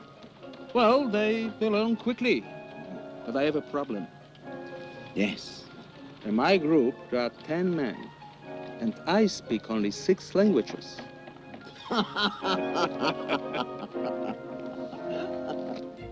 To Golda personally, peace meant a little more time for everyday things, such as washing her hair as often as she liked. She also had a tea kettle that was never shiny enough for her. She told me she enjoyed polishing it when she was alone. If she felt lonely, she'd polish twice as hard. But as a cabinet minister, Golda had too many concerns to be alone very often. One developed from a visit to Israeli kibbutzim by United States Senator Hubert Humphrey. I must say I am impressed by what these teachers are accomplishing with retarded children. As you know, I have a particular interest in special education because of a grandchild. Yes, so I understand, Sanur. Uh, may I ask you uh, another question, possibly a little sensitive? Certainly. What about these young couples living together who aren't married? Would you like to sit down, Senator? Personally, I never thought much about it. To me, the main thing would be if people love each other. Oh, Mrs. Myerson, the main thing is the children. The children? Of course. What happens to the children of those couples? Are they accepted by your society or are they stigmatized? Are they legally legitimate or are they bastards? I don't think it's much of a problem for us. Why isn't it? Couples that aren't married tend not to have children. But that problem is even worse. Your country needs to increase its population, doesn't it? And a whole sector of your strongest and healthiest young people refuses to help. Senator, you're absolutely right. Look, we know who we are and what our commitment is. We don't need a piece of paper to tell us. You love each other. You have a commitment to each other. What is so wrong being married to each other? Nobody says there's anything wrong with it, but nobody's gonna push us into it. Push you into it? Who would ever do such a thing? Let me ask you, do you like this room you're living in? Mm, not very much. I thought not, huh? Too close to the chickens. Would you like to be assigned a room near the flowers? Of course we would. I can arrange that. Oh, what about that icebox running all over the floor? I'm sure you wouldn't mind an electric fridge. I can arrange that too. What's the catch? Catch? No catch. All I ask in return is something you yourself say nothing is wrong with. Get married.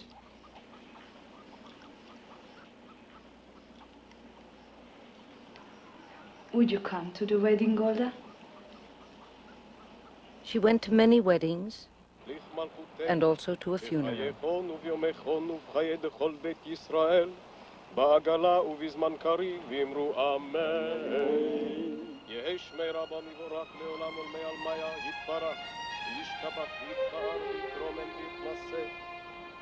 In 1951, her husband Morris died. I remember thinking as though it weren't too late to tell him. Dear Morris, I loved you so in those early days. Things changed for us, but in a way, they stayed the same. I never lost that feeling for you. never. I thought how he loved our children, and they adored him. I thought, Morris, at least we can be glad that Sarah's marriage is working out so much better than ours. But mainly, I kept thinking how very sad he was the last years of his life. And I was guilty, because I could always get him to do pretty much what I wanted. But I couldn't be the wife that he wanted and should have had. In the end, whatever I was able to accomplish, he paid for. Shalom, Morris.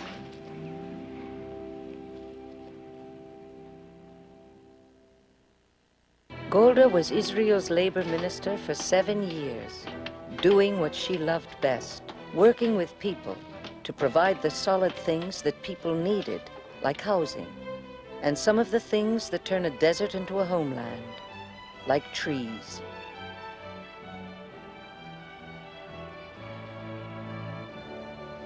During that time, I suppose I became the typical doting Jewish grandmother.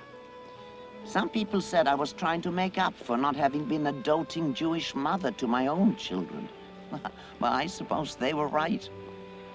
Anyway, between the joy that the children gave me and the satisfaction of doing my job, these were beautiful years, the best of my life.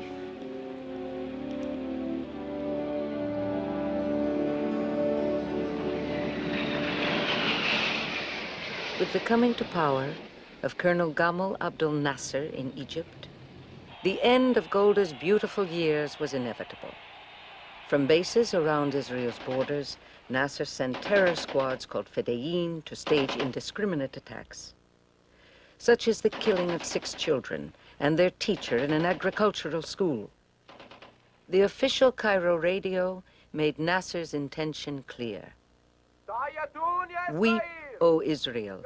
The day of your extermination draws near. We have found the way to strike you.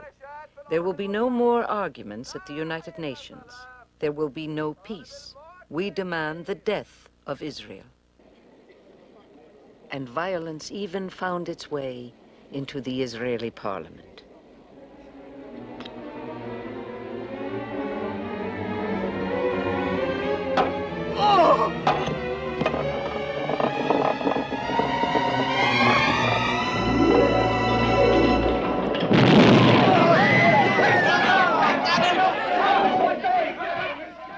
Golda saved Ben Gurion's life that day.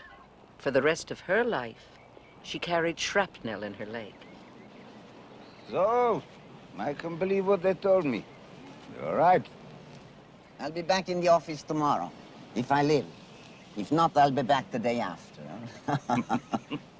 Listen, Golda, speaking of living, I didn't want to mention this while your husband was alive, but you still haven't taken a Hebrew name. Well, I see no reason to change Myerson. It's policy, Golda. You know well that every member of the government is expected to have a Hebrew name, and especially someone with your high visibility outside Israel, which is going to be even higher. What is this now, BG? Moshe Sharett is leaving the cabinet to become Secretary General of the Labour Party. Who is going to be foreign minister? You? No. I can't believe you mean such a thing. I certainly mean it. No, no. No, in the first place, I don't want to leave the labor ministry. That's my kind of work.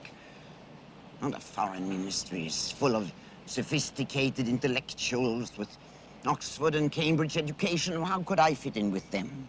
You will make them fit in with you. I know you will.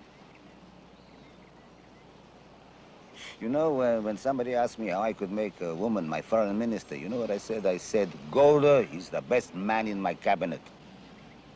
Excuse me, BG, if I'm not wild about uh, the compliment. Fine, don't be wild, but don't be your stubborn self either. You're taking over as foreign minister, and that's that. I am stubborn, huh? Now, about changing your name. I thought of a name that's very close to Myerson.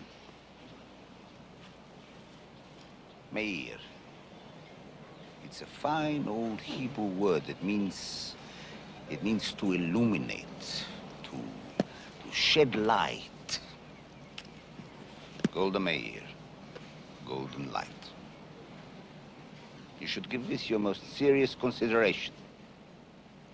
Anything else I should do?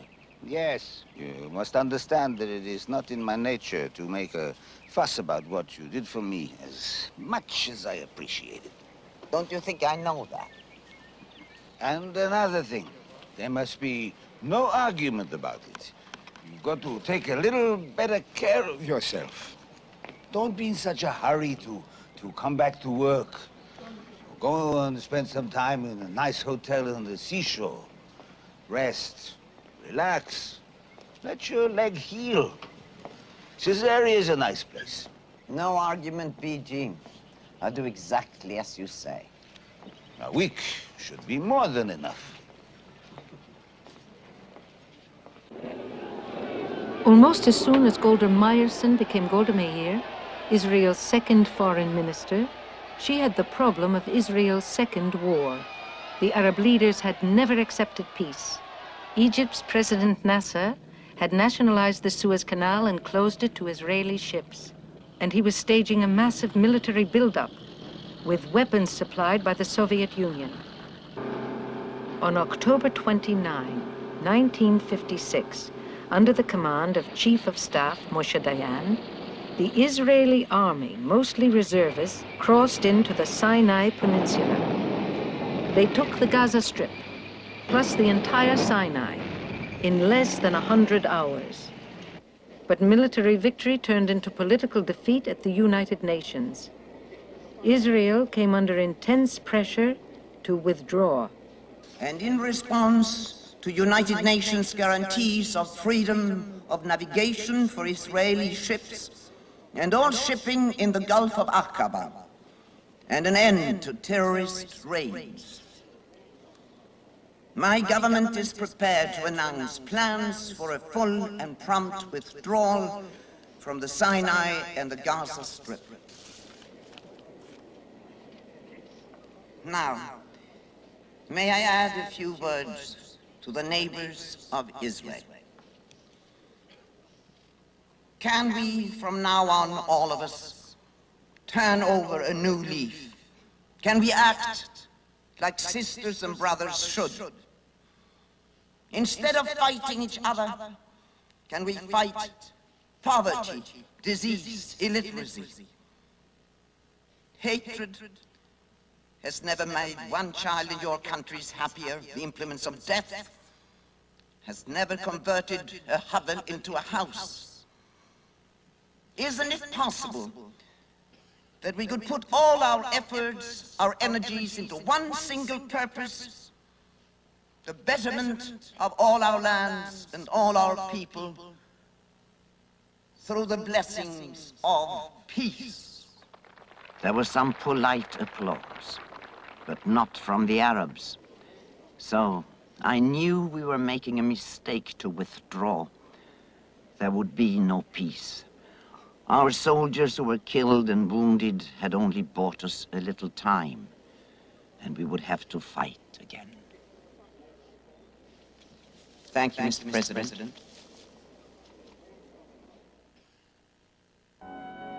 In the 1960s, there was only one woman foreign minister in the world, and almost anybody in the world could tell you her name was Golda. Golda traveled to the capitals of Europe, to the United States and Canada, to Latin America, Japan, the Philippines, Burma, Ethiopia, and other places. I traveled with her, and I believe she felt that of all the continents, she was able to accomplish the most in Africa.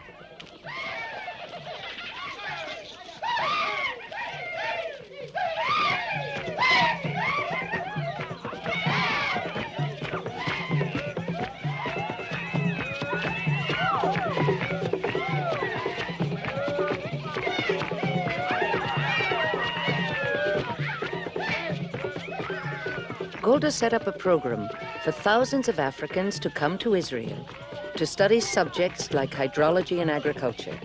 And thousands of Israeli doctors, engineers, and technical specialists were sent to Africa.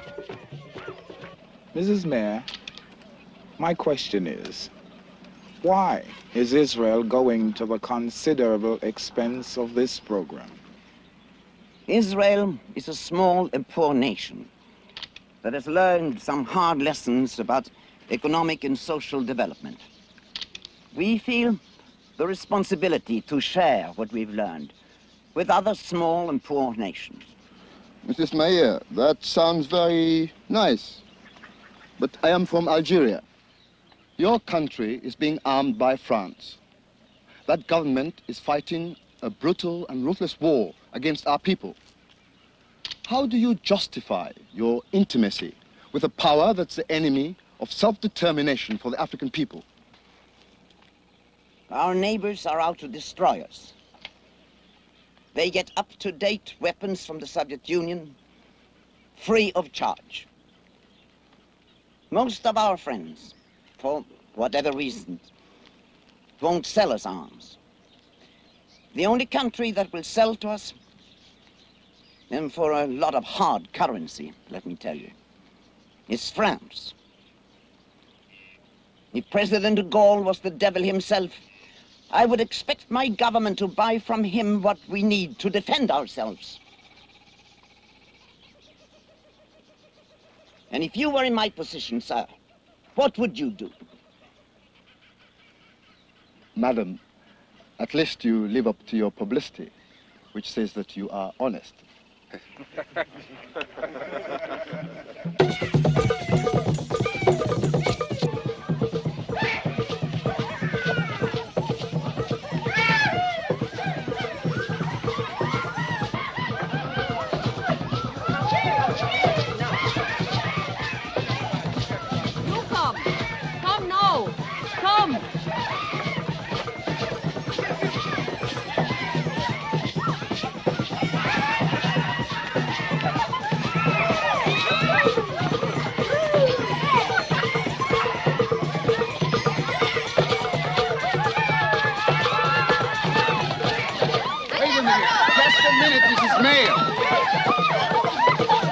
A minute. All right, Harvey. What's all right? We don't know where they're taking you. Don't worry, Harvey.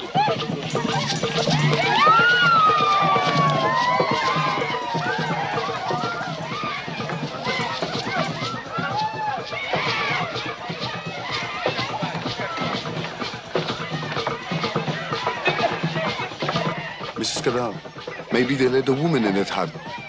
I mean, how do we know what they may do to her?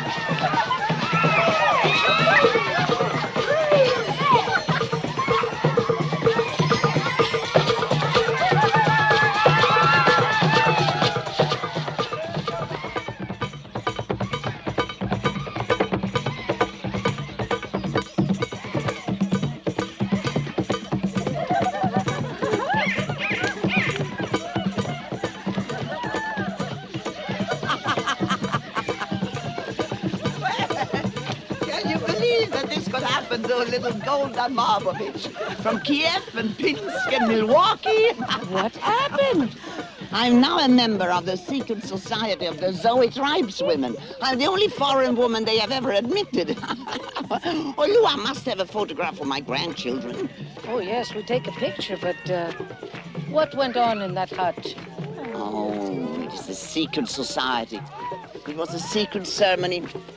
I'll never tell. And she never did.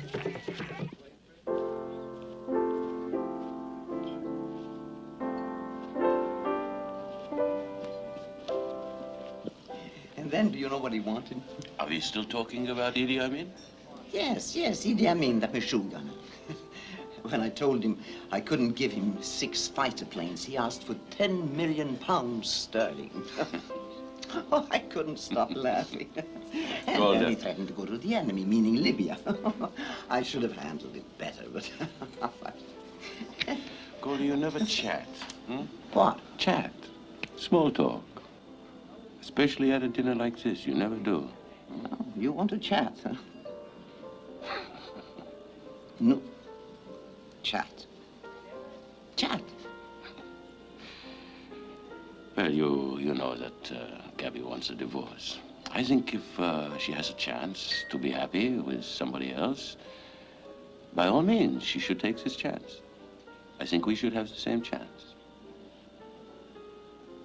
Golda, after the divorce, would you marry me? Hmm? Now, this isn't fair. You say chat. Is this a subject for chatting? Compared to Idi Amin?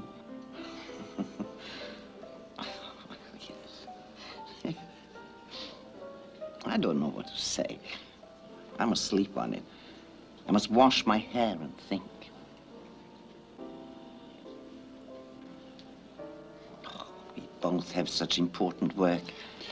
Golda, stop But being married would interfere. Isn't it too late for us anyway? Start thinking about yourself for a change, hmm? Before it really is too late.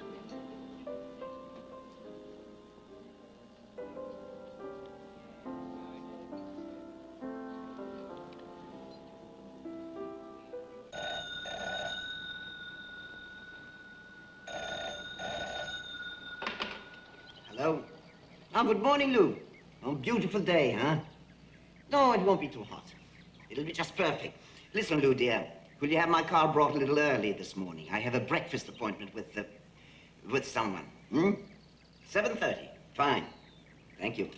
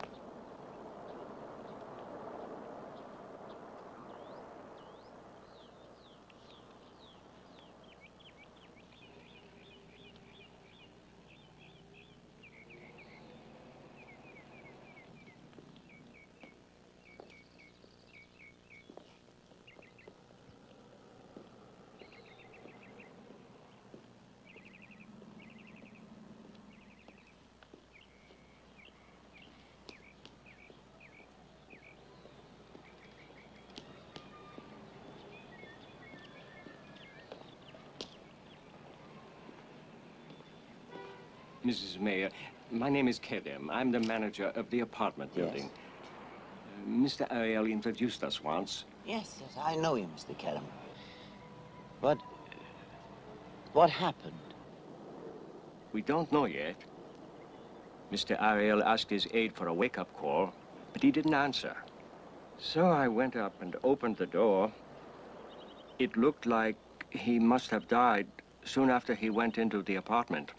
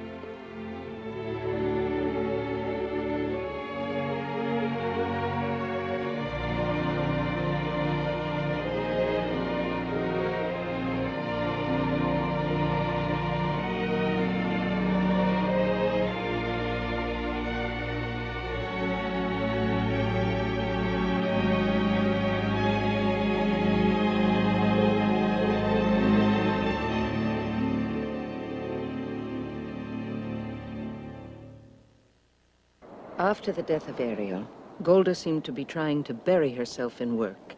I thought she might succeed, but she collapsed a few times from what was obviously exhaustion. I finally got her to go for a checkup by the same kind of gentle persuasion she used on her cabinet colleagues. I swore up and down if she didn't, I'd quit.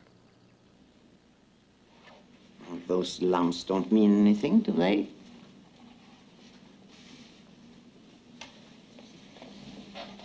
They do. They do.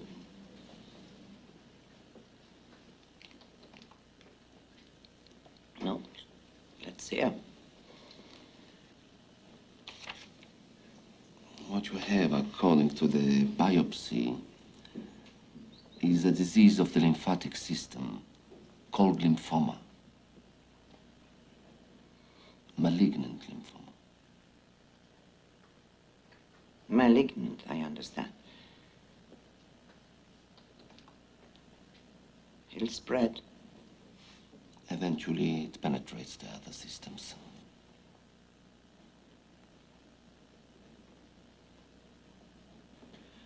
How much longer do I have? Oh, it's not a rapidly metastasizing condition. I'd say you have a good few years ahead of you. Well, I'm 66. How long can I expect to live anyway? But the question is, those few years, will they really be good or will I be suffering? There's very little pain associated with this disease, Mrs. Meir. There'll be no real suffering for most of its course. What about my mind? Your mind? I don't want to live one minute after my mind isn't clear. Your mind won't be affected.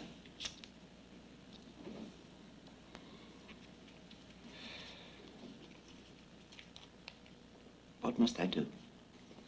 Practically nothing. Your motor and sensory abilities are not impaired, so we won't go in for heavy chemotherapy this time. Just a few simple drugs. Drugs? What drugs? Oh, listen, doctor, I'm a person who can't even take aspirin. We'll discuss each one as we come to it. Will they make my hair fall out? One or two, possibly. No, no, absolutely not. No, I don't care. I won't take any drug that would make me lose my hair. All right, all right. If you feel that way, we'll avoid those medications and go to different ones. Good. And I trust you. On one condition. If anything about this is ever going to be told to anyone, I will choose who and when. Otherwise, it is a strict secret between you and me. Is that agreed, Dr. Lander? Agreed, Mrs. Meir. Oh. Another thing. Yes. Would it hurt you to call me Golda like everybody else? Well? Well, it's what you said. A slight case of exhaustion. That's all? You're not satisfied with your own diagnosis? All right. It's also complications with the shrapnel in my leg. What are you going to do about that? Retire. Again, Golda? When? Why shouldn't I? Because you'd be bored to death. Come on, Golda. See yourself out of politics? Much less retired? Yes, I can see myself with books that I've been wanting to read. Go to the theater, to a movie. I like the movies, you know. I can see myself with my grandchildren, spending time I never could with my children. Always looking at my watch. Do I have to go the way I'm forever rushing now? Why not, Loom? Because Ben Gurion is retiring. That's enough of a loss for the country for a while. They say that Levi Eshkol will replace him, is that right? Probably. What will you do if uh, Levi Eshkol asks you to stay on, which he certainly will? How can you desert a brand new prime minister of your own party? It's uh, less than two years to the next elections. I suppose if Eshkol needs me, I'll stay that long. But not longer. Time is precious to me now. Golda stayed on the two years, then resigned, and was succeeded as foreign minister by Abba Eban. But her retirement didn't last long. From commanding positions on the Golan Heights, Syrian artillery had been shelling Israeli villages across the border below. One of the worst attacks was on the kibbutz of Gadot in the spring of 67.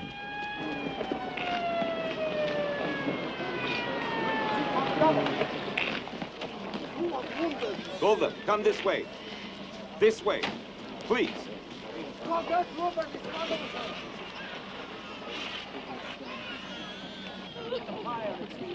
Twenty people died in here. Plus the people in five houses that were hit by shells. Plus the kindergarten building and two nurseries. Total casualties. Erskine, stop. This ambulance is ready to go. Send another ambulance up here. Why? Why did I have to see this? I'm retired. I'm a private citizen. It was bad enough to hear it on the radio. Why did you send the car for me? Because I want you to have a clear picture of what's happening here. I want you to hear it from Dayan. Golda, in addition to the threat from Syria, Jordan is filling up with Iraqi forces, including planes and pilots. The King of Jordan just placed his forces under the command of an Egyptian general. Egypt now has got troops along our border, as in 56, and more tanks, Golda. There is a very big difference. This time, there are United Nations troops between us, a buffer. Nasser ordered the UN out, Golda. They, they won't leave. The UN gave us guarantees. They are leaving. Our observation planes spotted them at first light this morning. The UN is moving out. As soon as they are gone, Nasser will close the straits and choke off Eilat again. He says so. If we accept all this, we might as well cut our throats. Tell me what I can do. Come back to work, Golda. Well, Abba Eban is running the foreign ministry very well. I'm not saying run the foreign ministry. I'm saying run the party. We're splitting at the seams with all our differences. If you were Secretary General, you could unite the party like nobody else. What you say, Golda? Of course.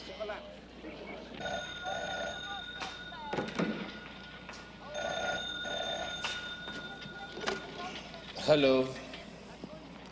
קיבוץ רביבים. Oh, Golda.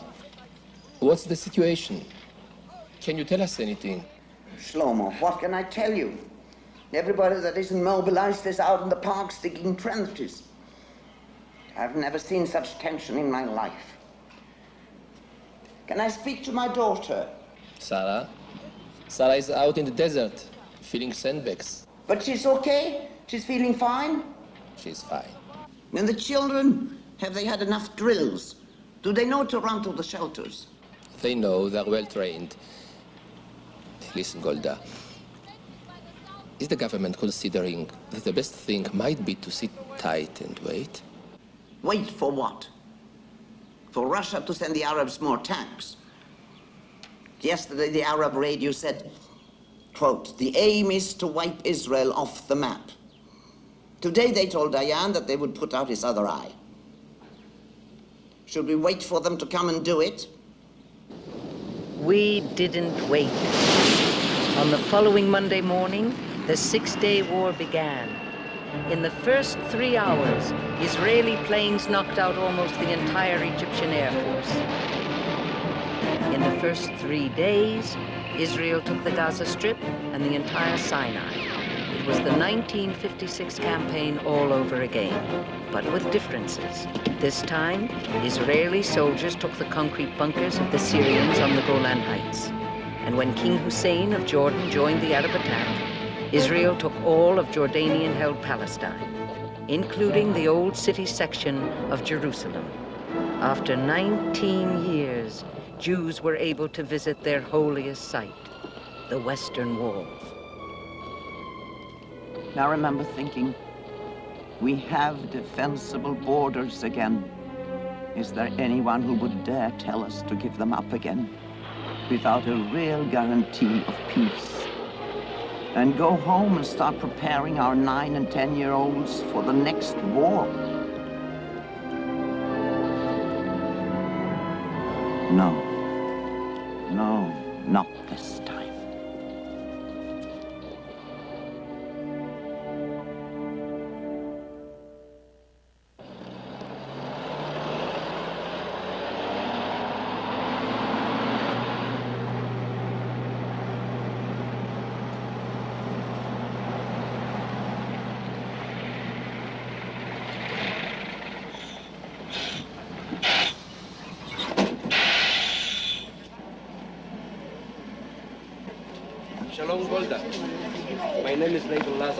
I'm new in this route. Welcome to my bus. what are you doing? Golda Meir shouldn't have to carry groceries. Oh, Golda Meir can carry groceries like anybody else. Oh, I'm a private citizen again, thank God. I'm sure he doesn't know it yet. Wait till he finds out.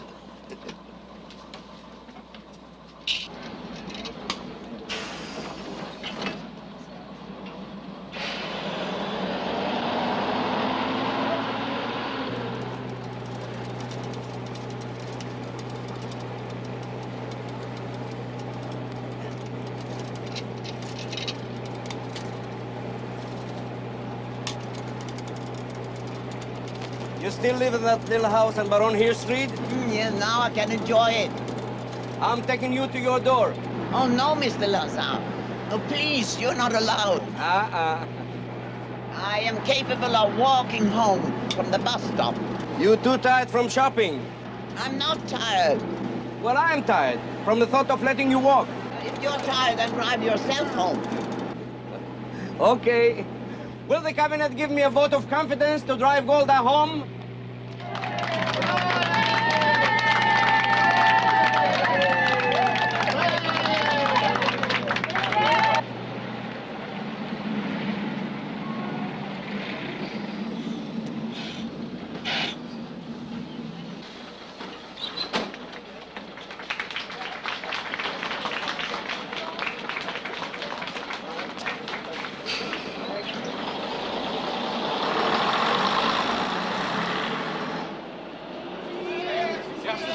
Mrs. Meir. Mrs. Meir.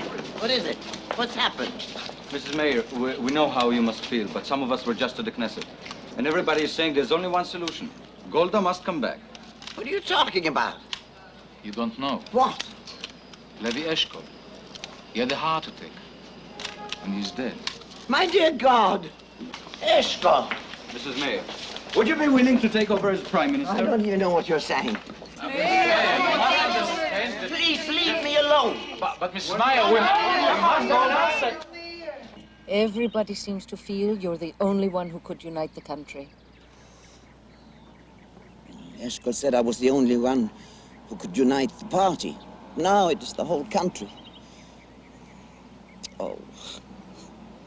I came here to live on a kibbutz and help to build a homeland in a plain and simple way.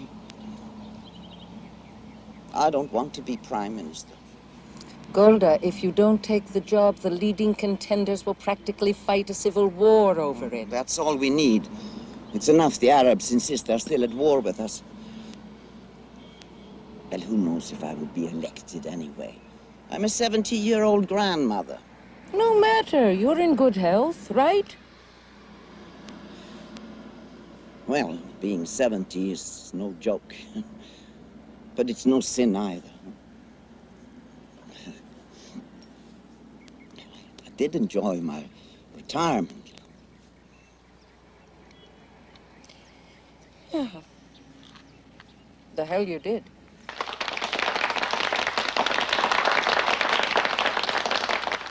She was elected by a vote of 70 to nothing. Some of our friends in other countries have expressed concern that Israel, by maintaining strong armed forces, may become militaristic. I can only answer that I'm not in favor of a nice, liberal, anti-militaristic and dead Jewish people. On the other hand, the victories that we have won have never intoxicated us. They've never made us forget our great hope, our great desire, which is for peace. A peace that means good neighborly relations with the Arab people is fundamental for the Jewish Renaissance. With all my heart, I pledge that this government will make every effort in its power to bring about a true and enduring peace.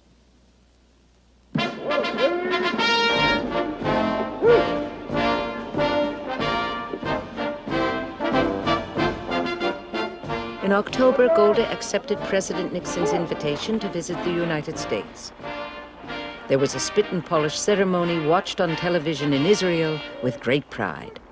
Madam Prime Minister, and our guests here at the White House today, the problems of the East are terribly complex and not susceptible to solution in one meeting or two meetings or three meetings or even more at the level at which we will be talking.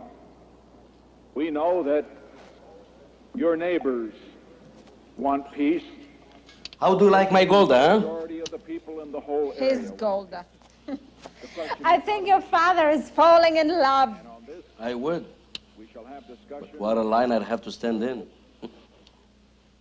In Jerusalem, her typical day would begin in the office and continue at home. Often she would meet with one group of cabinet ministers in the kitchen over an international problem. And at the same time with other ministers in the dining room over a domestic problem. She was supposed to go to bed by midnight. It didn't always happen.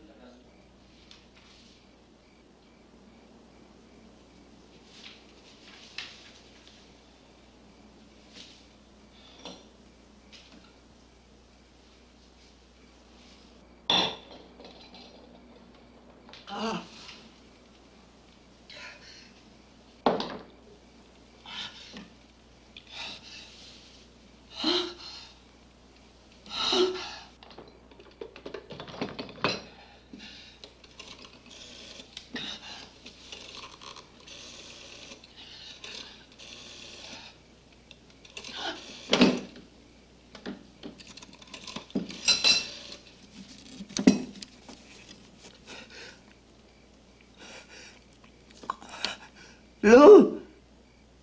and get me.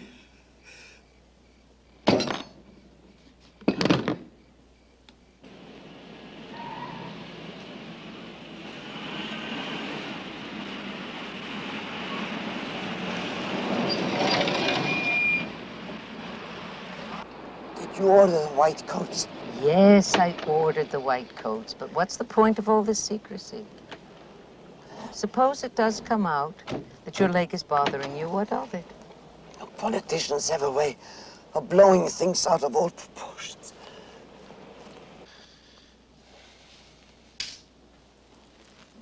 Do you feel better now? What we have to do now is to go into the therapy we have already discussed. I've arranged for it to begin now. Now, oh, Golda, let's not have you being transigent about it.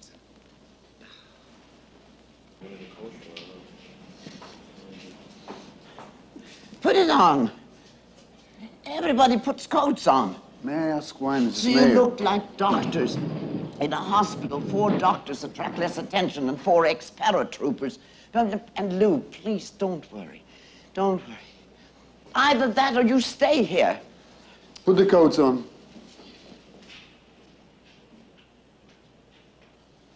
You look very nice, Avi. Your mother always wanted you to be a doctor, didn't she?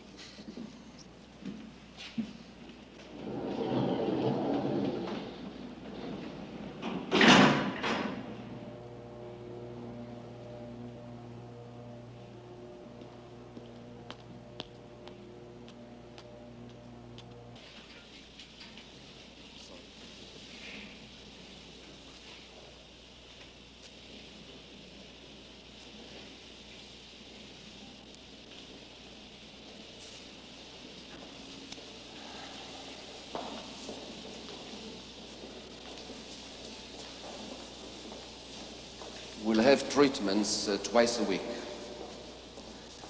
I have arranged them for after midnight. And if there are leaks, We are treating you for the shrapnel in your legs. remember it makes my hair fall out. Just one hair.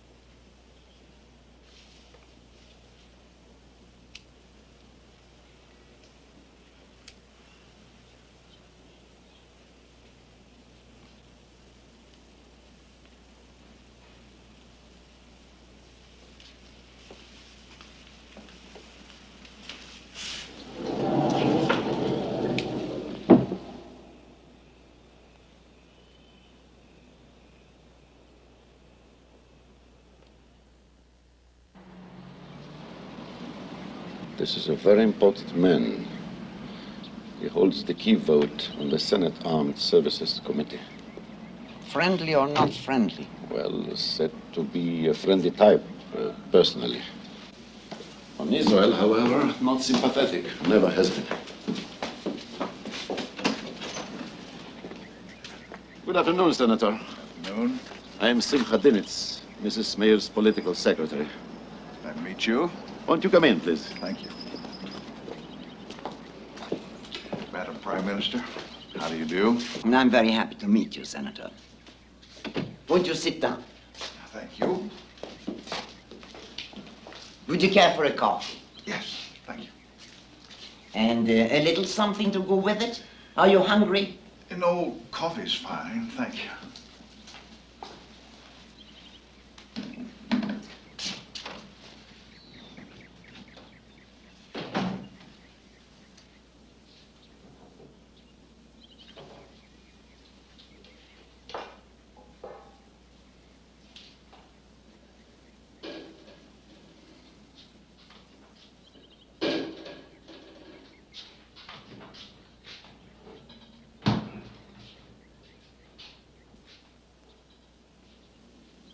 What's she doing out there? Making coffee. You mean herself? And if I know her, a little something to go with it.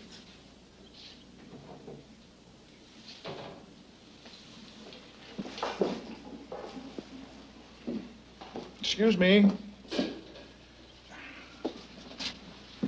Madam Prime Minister, cake looks good. Mm, my own recipe. Huh? It's delicious.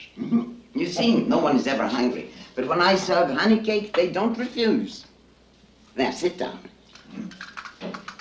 There. Now try some of my apricot jam with it.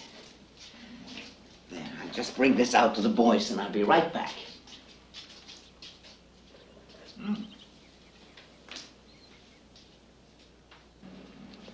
If you don't like the menu, it's your own fault. I told you to go home. Golda, you know we have to be relieved. I don't need anybody today. I won't be going out anymore. Golda, we have our orders. But I won't tell anybody. I promise.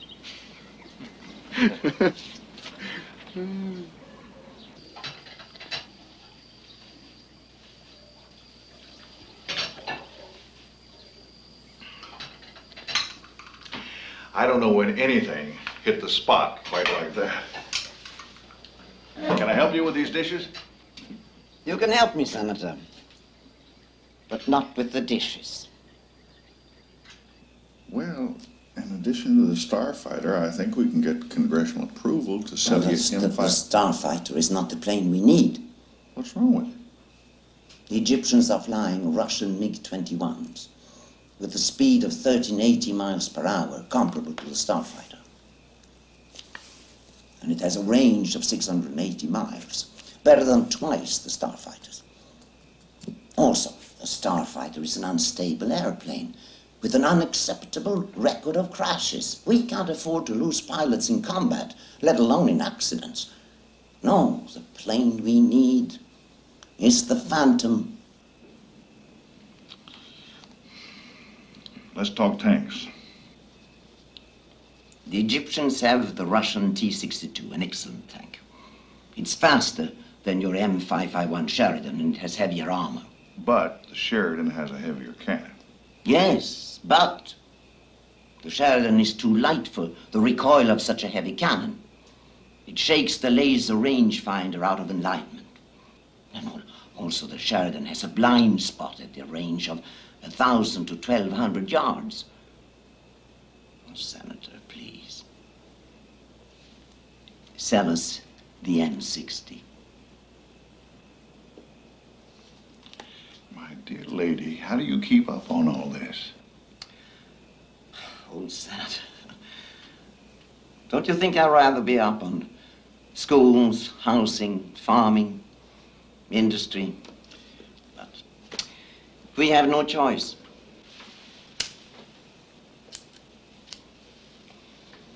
After the Six Day War, we pleaded with the Arabs to negotiate peace.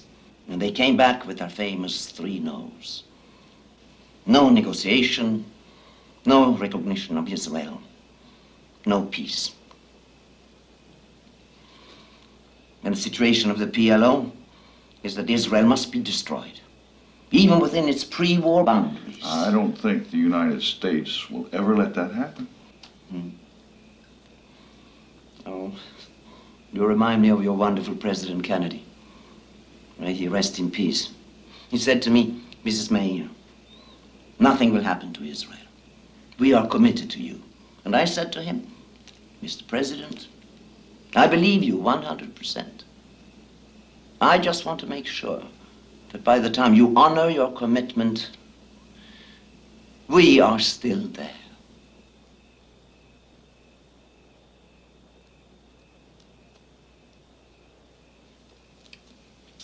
All right.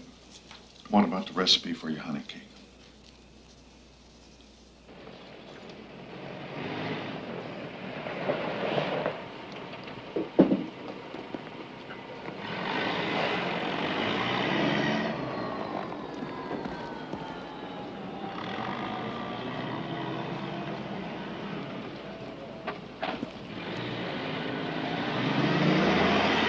The Egyptian buildup is along the full length of the Suez Canal.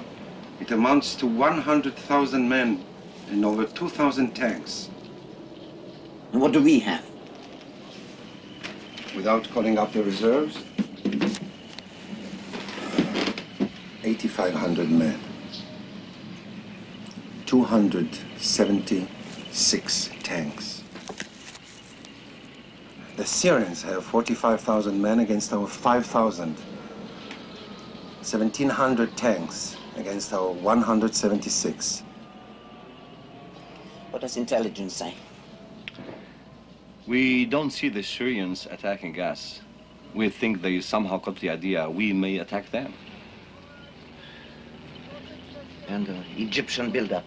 If Nasser was still alive, we'd be concerned. But Anwar Sadat is a cooler head. Sadat simply has his army on maneuvers. And nobody thinks we should call up the reserves?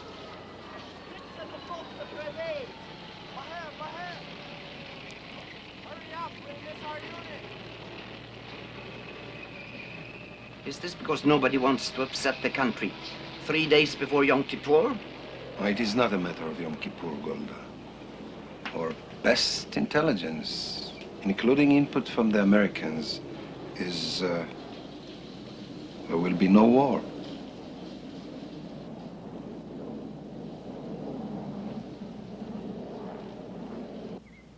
What do I know about it anyway? My instincts tell me to mobilize. But the facts are that it would cost millions and just about cripple industry, business, essential services. So how can I follow my instinct? Especially when the best military minds in the country advise against it. No, Lou, I must be getting old. Advice never stopped me before, But it wasn't only the General Staff. We had a cabinet meeting. And the vote was against mobilization. Unanimously. So, Toots, there you are. Excuse me, this just came. Oh, thank you, Avi. Go home to your family. Yom Kippur will, will soon be here. Shalom. Another intelligence report.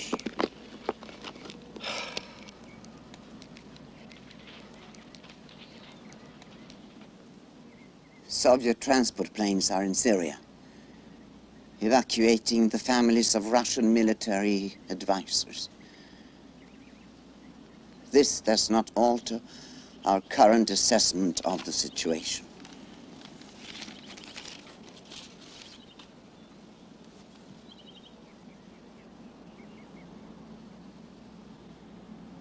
On the eve of Yom Kippur, the most sacred of all Jewish holidays, many Jews traditionally have a family dinner before the fast begins. This year, I just couldn't sit at the table. I left early and went to bed.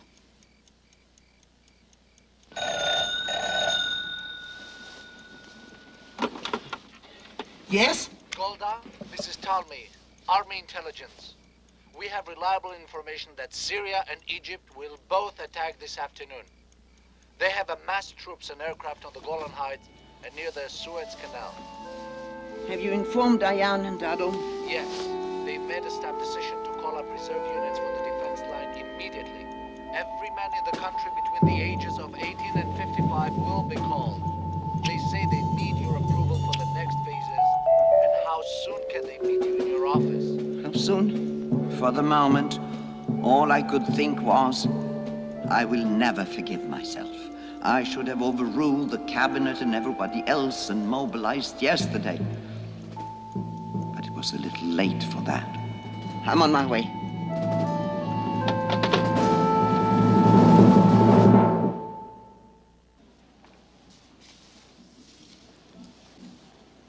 The first decision concerns calling up additional units at this time. Call them up. On the next point, the defense minister and I are not in agreement. Golda, our Air Force can strike at noon if you give me the green light. That would be a preemptive strike. I'm against it because it would get us labeled the aggressors. Three brilliant generals and I have to decide. Yes, because this is not a military issue. It is strictly political. Dado, I know that your approach can save lives up front. But we don't know about the future.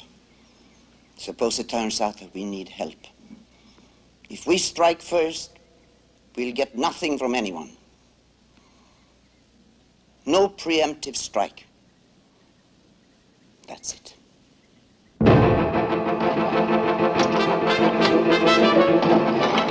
At 2 p.m.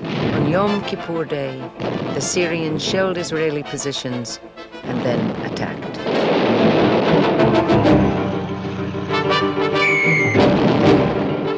In the south, the Egyptians crossed the Suez Canal along its entire length.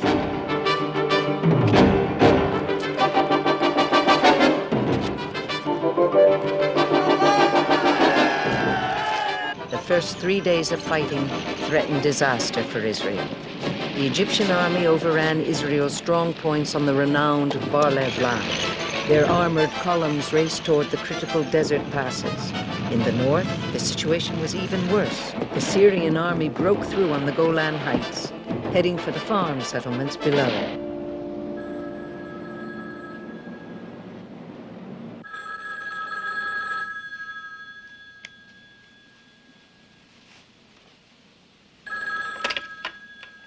Hello? Oh, yes, Golda. Well, has the airlift started? Uh, not yet. What do you mean, not yet?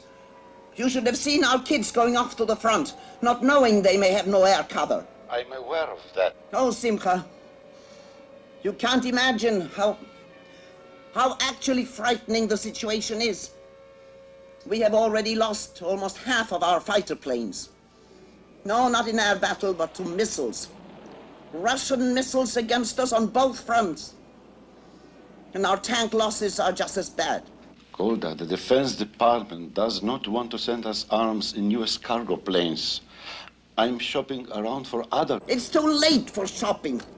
President Nixon promised to help us if we needed help. Tell him we do. And it has to be today. Tomorrow, we may be completely overrun. Call Kissinger and tell him. Call the senator who liked my cake. Call them right now. Golda, do you know what time it is here? I'm not sleeping, God knows, but they are. Tell Kissinger he can sleep when the war is over. Richard Nixon kept his promise. He personally ordered C-5 Galaxies to deliver tanks, rockets, and medical supplies. The fighter planes, denied permission to land in any of the European democracies for refueling, were refueled in flight. And on the ninth day of the war, the airlift reached Israel.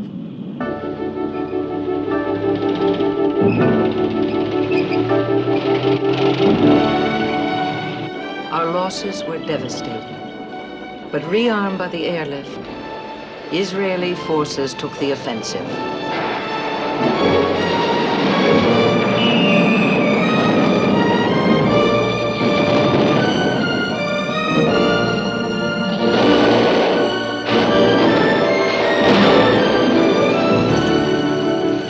Remember thinking, thank God, we rejected the temptation to strike first.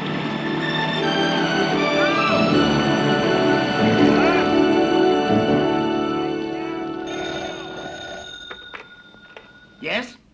Dado, where are you? The canal with Shaika's division. Oh, don't be such a hero. You're the chief of staff. You're supposed to be in the map room. Dayan and I are just looking things over. Listen, Golda. Can you hear me? Yes? We're back to being ourselves. And they're back to being themselves. And Golda, it will be all right. On this 10th day of the war, I can tell you we have a task force across the canal operating in the Egyptian territory. I want to express our deep gratitude to the President and the people of the United States. By the 16th day, Israel had retaken virtually all of the Sinai, held a large area across the canal, and had the Egyptian Third Army completely encircled. In the north, Israel had regained all of the Golan and moved into Syria, within 25 miles of Damascus. At this point, the Soviet Union began pressing for a ceasefire. And at kilometer 101 in the Sinai Desert, at a meeting arranged by the United Nations, an armistice was signed. But in spite of the military victory, the mood in Israel was bleak and bitter. Battle casualties were the heaviest since the 1948 War of Independence. A kind of national trauma set in.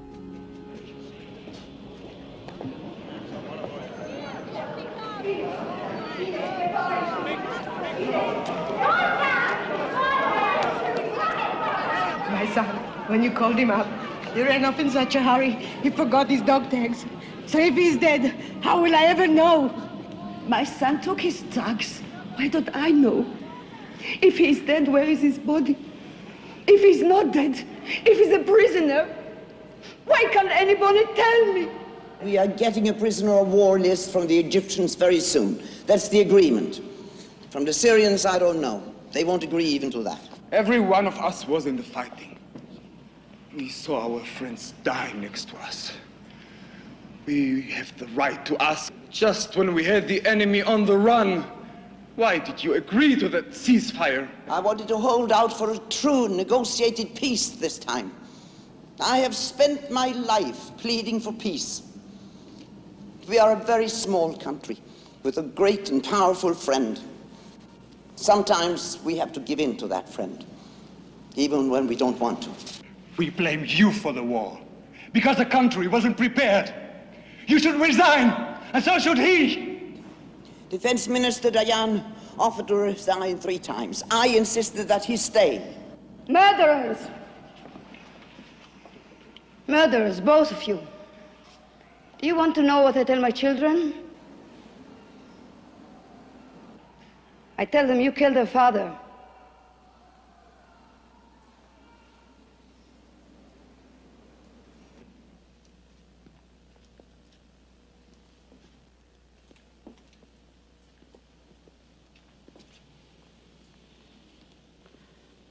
Do they think we don't care? There is no way to fight a war without losses, especially when the other side suddenly attacks. The Americans had Pearl Harbor, the French the Maginot Line, the British Dunkirk. Those people seem to understand. Those people are not like our people. Do you think, Dayan, that's why God chose us?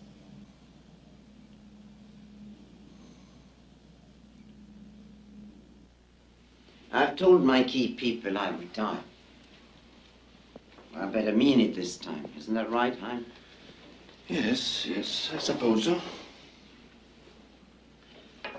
Well, I'm ready. I've done about everything I had hoped to. And got yourself voted woman most admired in America. You couldn't have planned on that. Woman most admired.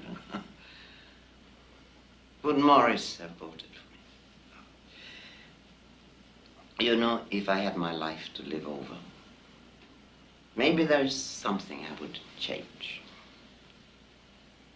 I think I would have stayed on the kibbutz.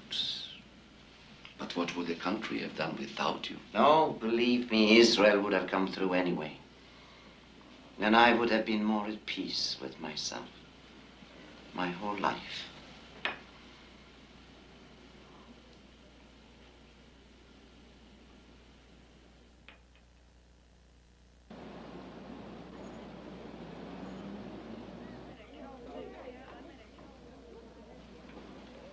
Why did you decide not to be a prime minister anymore?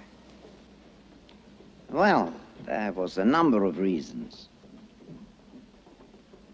But one of them was I was beginning to imagine that people around me were whispering, for God's sake, when is this old woman going to make up her mind that it's time for her to leave?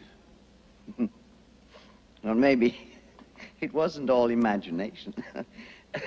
You never wanted to be a prime minister, did you? Right.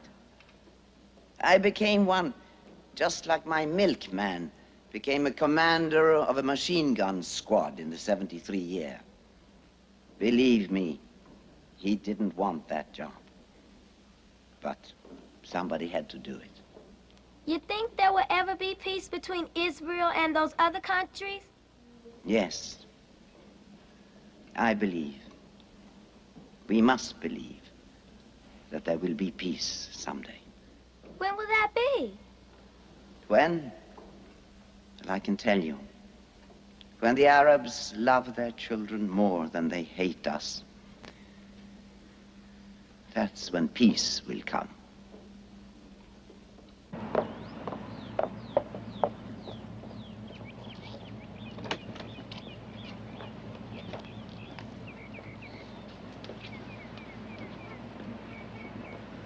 Well, The call was from Dennis. They want you to cancel the rest of your trip and come home. who's they? Everybody. What everybody? How about your friends and your enemies?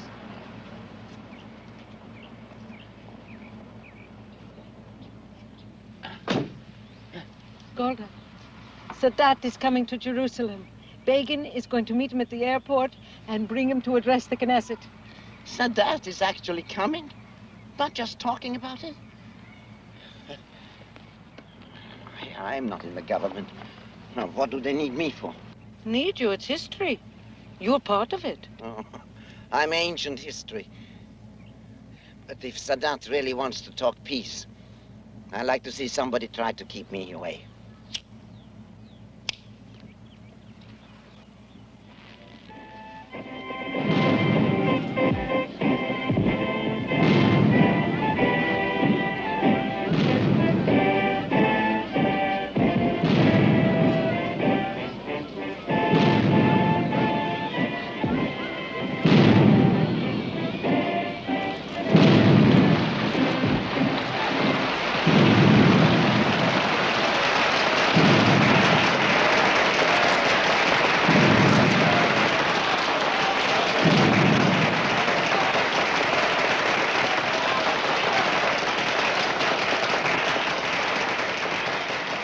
I have chosen this difficult road, which is considered by many, and in the opinion of many, the most difficult road.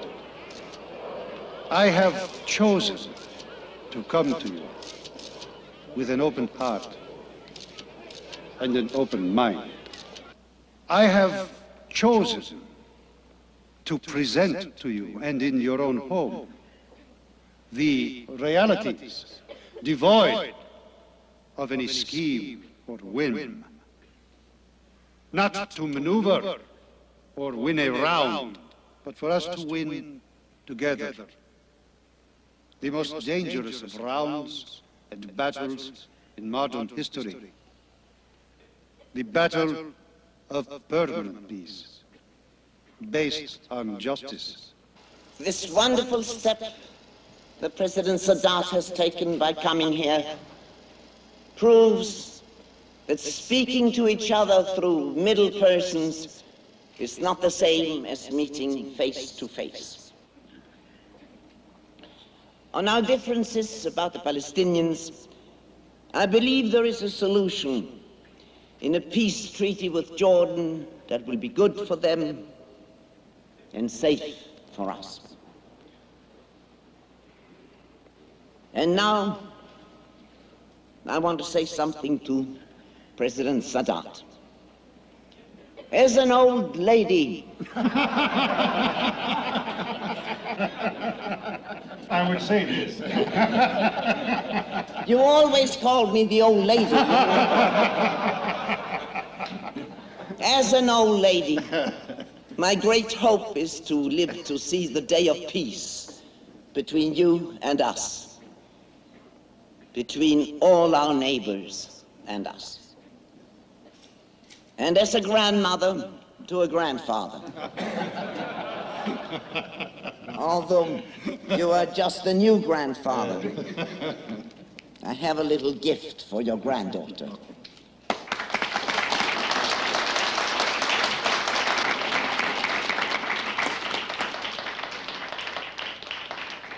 Let us hope that through our genuine efforts in Geneva, we can uh, uh, bridge the rift that has taken place between us and uh, uh, uh, establish peace once and for all on the two main points that I have mentioned to you now. Security and um, no more war. Whatever happens between us, we must sit and solve through peaceful negotiations.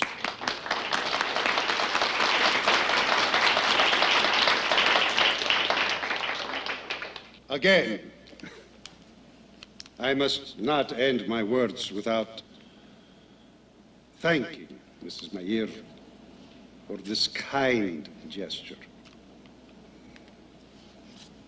Let us hope that the peace process that we have started, Mrs. Meir and me, will continue and flourish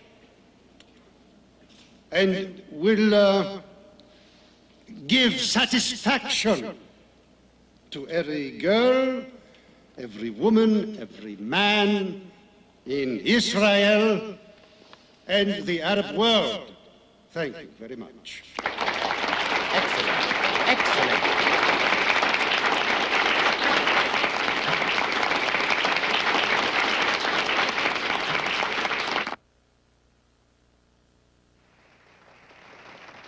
Ladies and gentlemen, the Honorable Ahmed M. Hamdi, Deputy Foreign Minister of Egypt.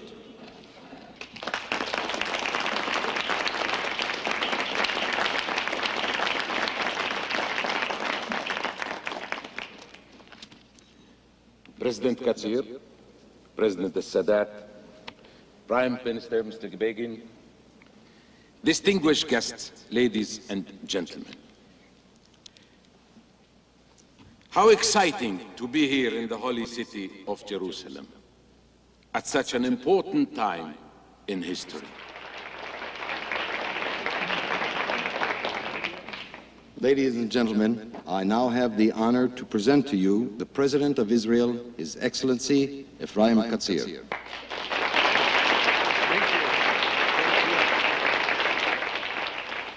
By the time they get to you, are you going to remember what you wanted to say?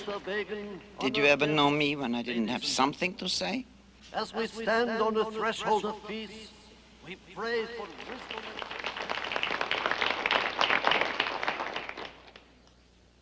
And now, it is my privilege to present a truly great lady of our time, or any other time. She has been called the Mother of Israel, the Earth Mother of her people. But mostly, she is called Golda. Ladies and gentlemen, Golda Meir.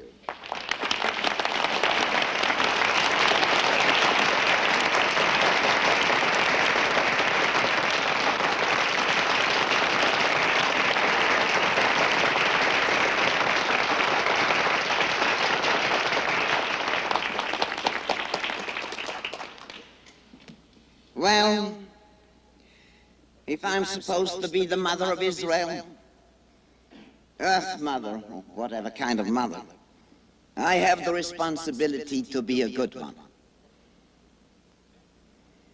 And what a good mother would say to you now is, it's late, everybody's tired, go home.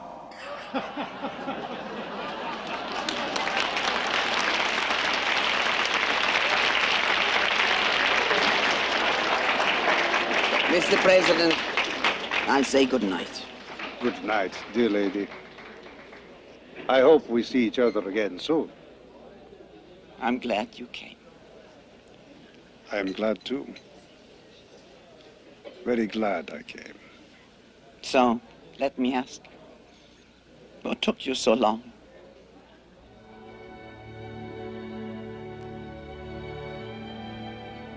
A lot of people said and wrote a lot of things about her, such as the miracle of Golda was that she embodied the spirit of so many people, the hopes, fears, ideals, and stubbornness of Jews everywhere. But as usual, Golda said it better. Why am I known? Because of my wisdom? My great achievements? No. I'm known because at the time of struggle for the Jewish people, I was one of a group that made it possible to have what we have, what we've been able to defend by the skin of our teeth. I did what I thought was right, and that's that. And after me, someone else will come, and I hope they'll do better. Shalom, Golda.